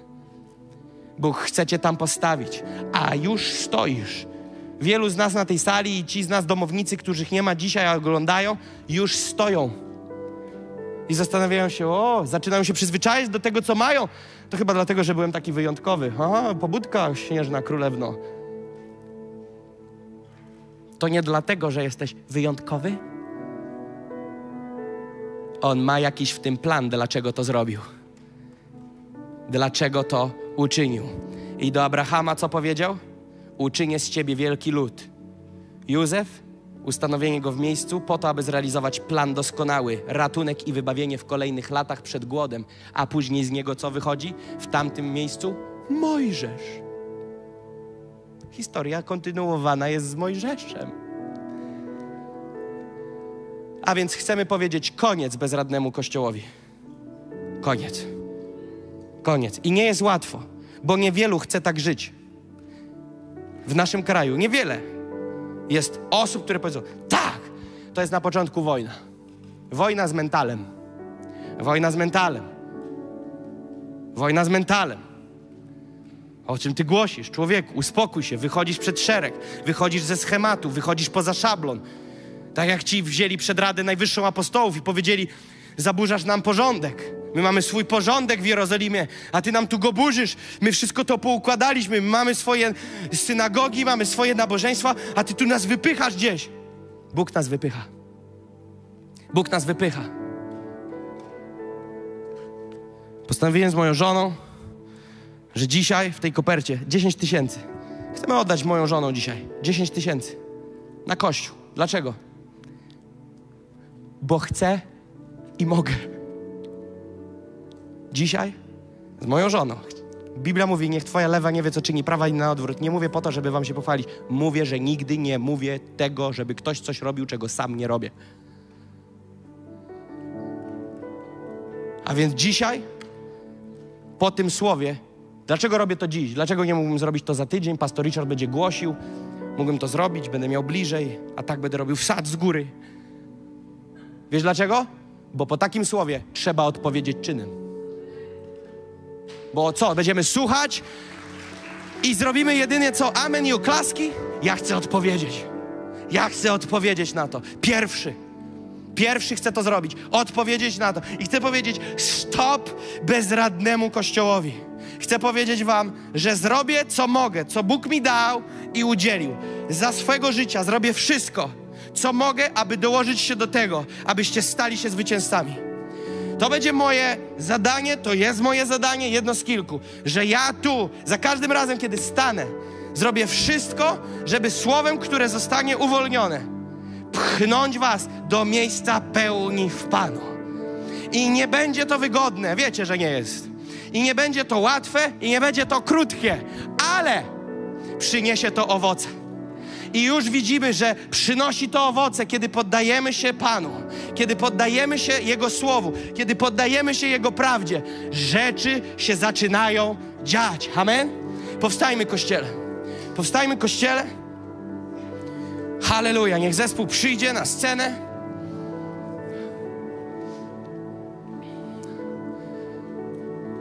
Potrzebujesz stać się osobą, która zacznie mierzyć wyżej niż jest dziś. Ok?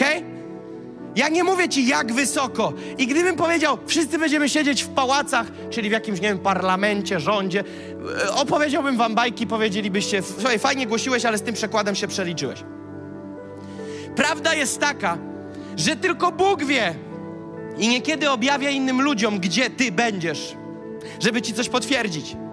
Ale wiem na pewno, że możesz wejść na kolejny stopień. Widzisz, w szczególności ci z Was, którzy ledwo zapinają koniec z końcem. Jest tutaj na sali sporo grono reprezentujących tą grupę. Chcę Ci coś powiedzieć. Tym bardziej to słowo było do Ciebie. Dlaczego?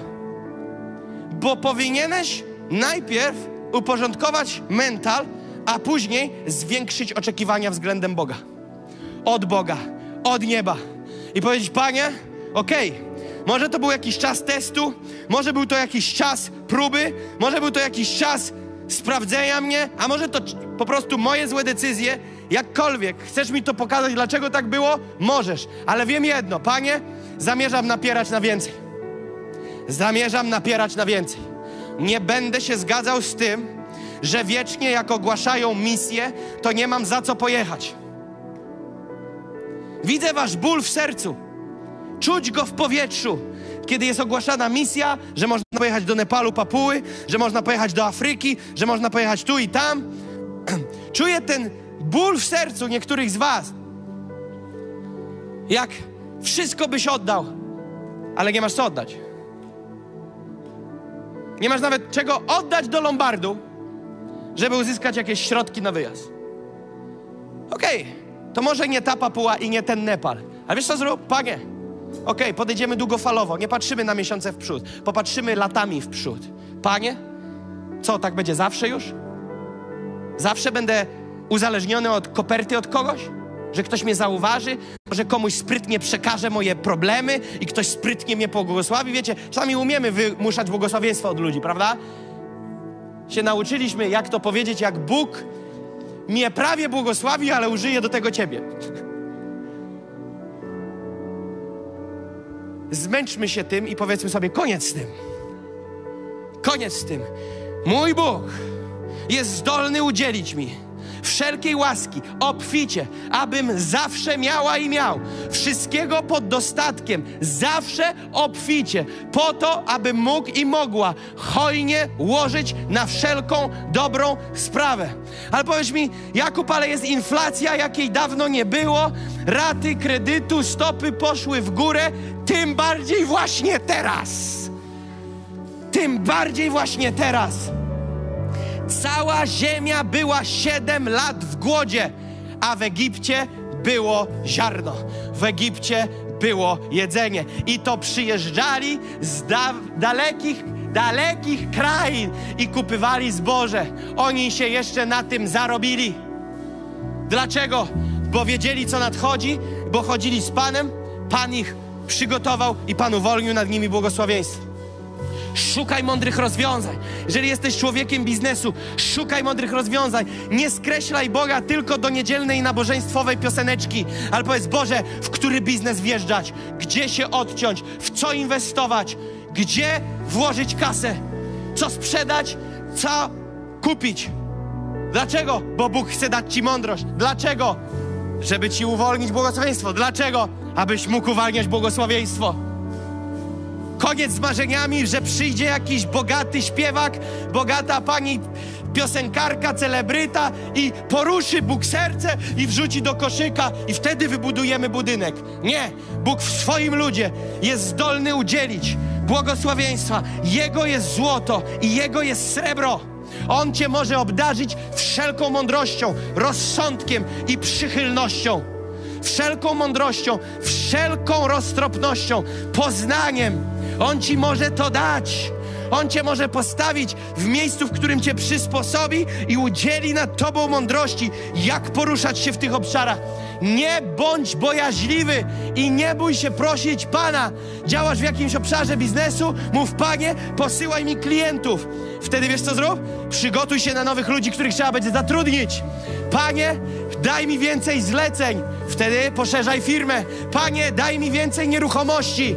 Wtedy przygotuj się na kolejnych ludzi, którzy będą Ci pomagać obsługiwać. Albo powiedz, Panie, przychylność w oczach mojego szefa przenosi mnie z pozycji ogona na pozycję głowy. Dlaczego? Bo będzie wiedział, że jak mnie tam postawi, to błogosławieństwo rozleje się nad moją firmą. Panie, Ty widzisz, Ty wiesz, co z tym zrobię, kiedy mi to udzielisz. Nie bój się bombardować niebo o wielkie rzeczy. Stanowisk jest wiele niezarezerwowanych. Szarpnij się po wiele rzeczy. Szarpnij się. Ja powiedziałem, Panie, uwolnij nade mną miliony. To była moja modlitwa. Uwolnij miliony. Miliony. A zrobimy niezły odłet nad Babilonem. Uwolnij miliony. 2022 5,5 miliona. Na służbę, na Ewangelię, na robienie zadymy w królestwie. W tym roku będzie musiało być więcej. Sam This is our time 1,2 miliona. Wierzę, że kolejny rok, kolejne lata będziemy rozmawiać o przebiciu 10 milionów rocznie. To już jest blisko. I pamiętam, jak na początku mojej służby, pierwsze tygodnie, dni, dzwoni do mnie telefon, dzwoni do mnie kobieta, która była na spotkaniu, kiedy się nawróciłem, słyszała te proroctwa i dzwoni do mnie tak. Mówi, Jakub, ja chcę Cię ubłogosławić finansowo. Ja mówię, halleluja. A ona mówi, na Twoją służbę. Ja mówię, halleluja. Ona mówi, podaj mi numer konta Twojej służby w funcie brytyjskim. Ja mówię, co? Mówię, nie mam w ogóle żadnego konta służby, nie mam żadnej służby i nie mam funta brytyjskiego konta. A ona do mnie mówi, i to jest właśnie twój problem, nie jesteś przygotowany na zaopatrzenie. Mówi, zakładaj konta we wszystkich walutach. Rejestruj służbę, bo idzie wiatr. Mówię, o kurcze. Mówię, to ty chciałaś błogosławić czy nie? Ona mówi, to był test od Pana.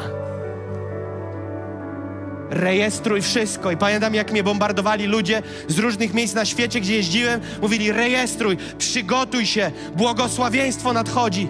Błogosławieństwo nadchodzi. Błogosławieństwo nadchodzi. Bo Bóg wie, co zrobisz, jak dostaniesz. A więc nadchodzi błogosławieństwo. Ustaw się właściwie przed Panem. Powiedz, Panie, uwolnij nad moim życiem błogosławieństwo, a ja będę błogosławieństwem dla innych i zrobię niezłe zamieszanie w Twoim królestwie. I bądź wierny. Nie czekaj na ekstremalne ruchy. W to, co masz, z tego, co masz, ładuj wiernie, wiernie, wiernie. Podnieś swoje ziarno. Będziemy siać teraz. Czy to są karty, czy portfel, czy cokolwiek, zegarki, nie wiem. Nowocześnie jest. Będziemy śpiewać Dom Cudów, że to jest Dom Cudów. I my chcemy, aby to był dom cudów, amen? Chciałbym zaprosić już tutaj powoli osoby do ofiary. Widzę, że się zbierają, super. Cztery rogi sali, wiecie jak jest, są terminale. Z przodu są koszyki na gotówkę, złoto, srebro, diamenty, szmaragdy. Będziemy siać. Dlaczego? Bo będziemy przełamywać mental ogonów. Nie jesteśmy ogonami. Powiedz to, proszę cię, uwierz w to. Powiedz, ja nie jestem ogonem. Ja nie będę więcej ogonem. Może mnie traktują jak ogon, ale ja nie dam się więcej traktować jak ogon. Jestem dzieckiem króla. Koniec z ogonowaniem. Powiedz to na głos, proszę cię, uwolnij to nad swoim życiem. Złam te ogonowe myślenie. Powiedz, koniec z ogonem. Koniec z byciem na dole. Powiedz to. Powiedz, koniec z bycia na dole. Koniec z, bycia, o, z byciem ogonem. Koniec z tym. Jestem głową. Jestem głową. Jestem głową. Jestem na górze. Panie, pomóż mi rozumieć, że jestem na górze, że jestem głową, a że skorpiony i węże są pod moimi stopami. Ja będę prosperował, będę obfitował. Nie będę musiał pożyczać, inni będą pożyczać ode mnie. Ja będę błogosławieństwem. Ja będę siał wiernie moją dziesięcinę, oddawał Tobie. I ponad to będę siał na Twoją sprawę, Panie. Będę błogosławieństwem w Twoim domu. Ageusza 1,9 Wielce, o na wiele czekaliśmy, ale tak niewiele zastaliśmy, bo Pana dom jest w rozsypce, a zajęliśmy się swoim domem. Dlatego podnoszę swoje ziarno, Panie. Podnoszę moje ziarno. Panie, Ty widzisz. Ty widzisz, znasz lepiej niż każdy inny. Wiesz, na co mnie stać, wiesz, co czynię, Panie. To jest moje ziarno, które przynoszę dzisiaj dla Ciebie. Panie, dziękuję Ci za Józefów, za Abrahamów, za Danielów, ale Panie, uczyń mnie minimum Danielem, Józefem, Abrahamem. O Panie, oddaję to jako moje ziarno, przynoszę to jako ziarno do Twojego domu, Panie, aby był dostatek i bogactwo w Twoim domu, w imieniu Jezusa. Amen. Zasiejmy Kościele, uwolnijmy uwielbienie. Halleluja. Halleluja.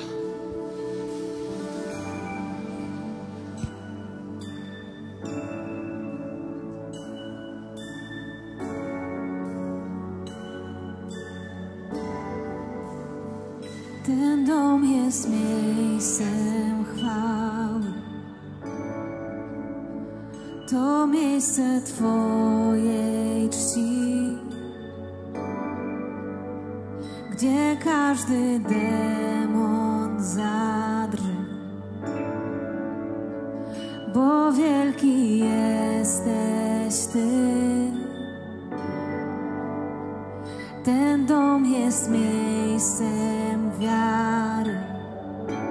Wyśpiewajmy to razem, śpiewajmy. w cud uzdrowienia serc.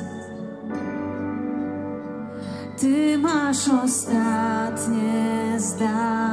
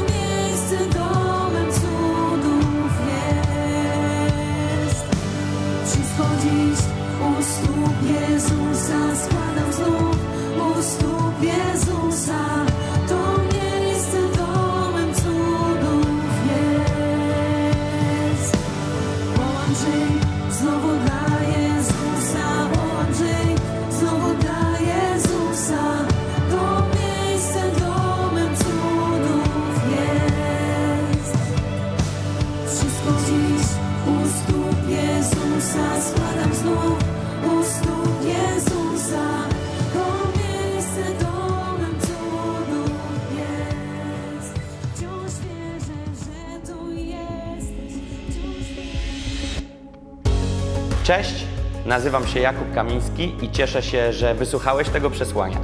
Wierzę, że wniosło ono nowe rzeczy do Twojego życia, a Ty czujesz się zachęcony i zbudowany. Jako Now Church modlimy się, abyś żył zwycięskim życiem, do jakiego powołał Cię Jezus. Jeśli czujesz się poruszony do tego, aby wesprzeć finansowo to, co robimy, możesz zrobić to klikając link w opisie tego filmu. Odwiedź nasze media społecznościowe i pozostajmy w kontakcie.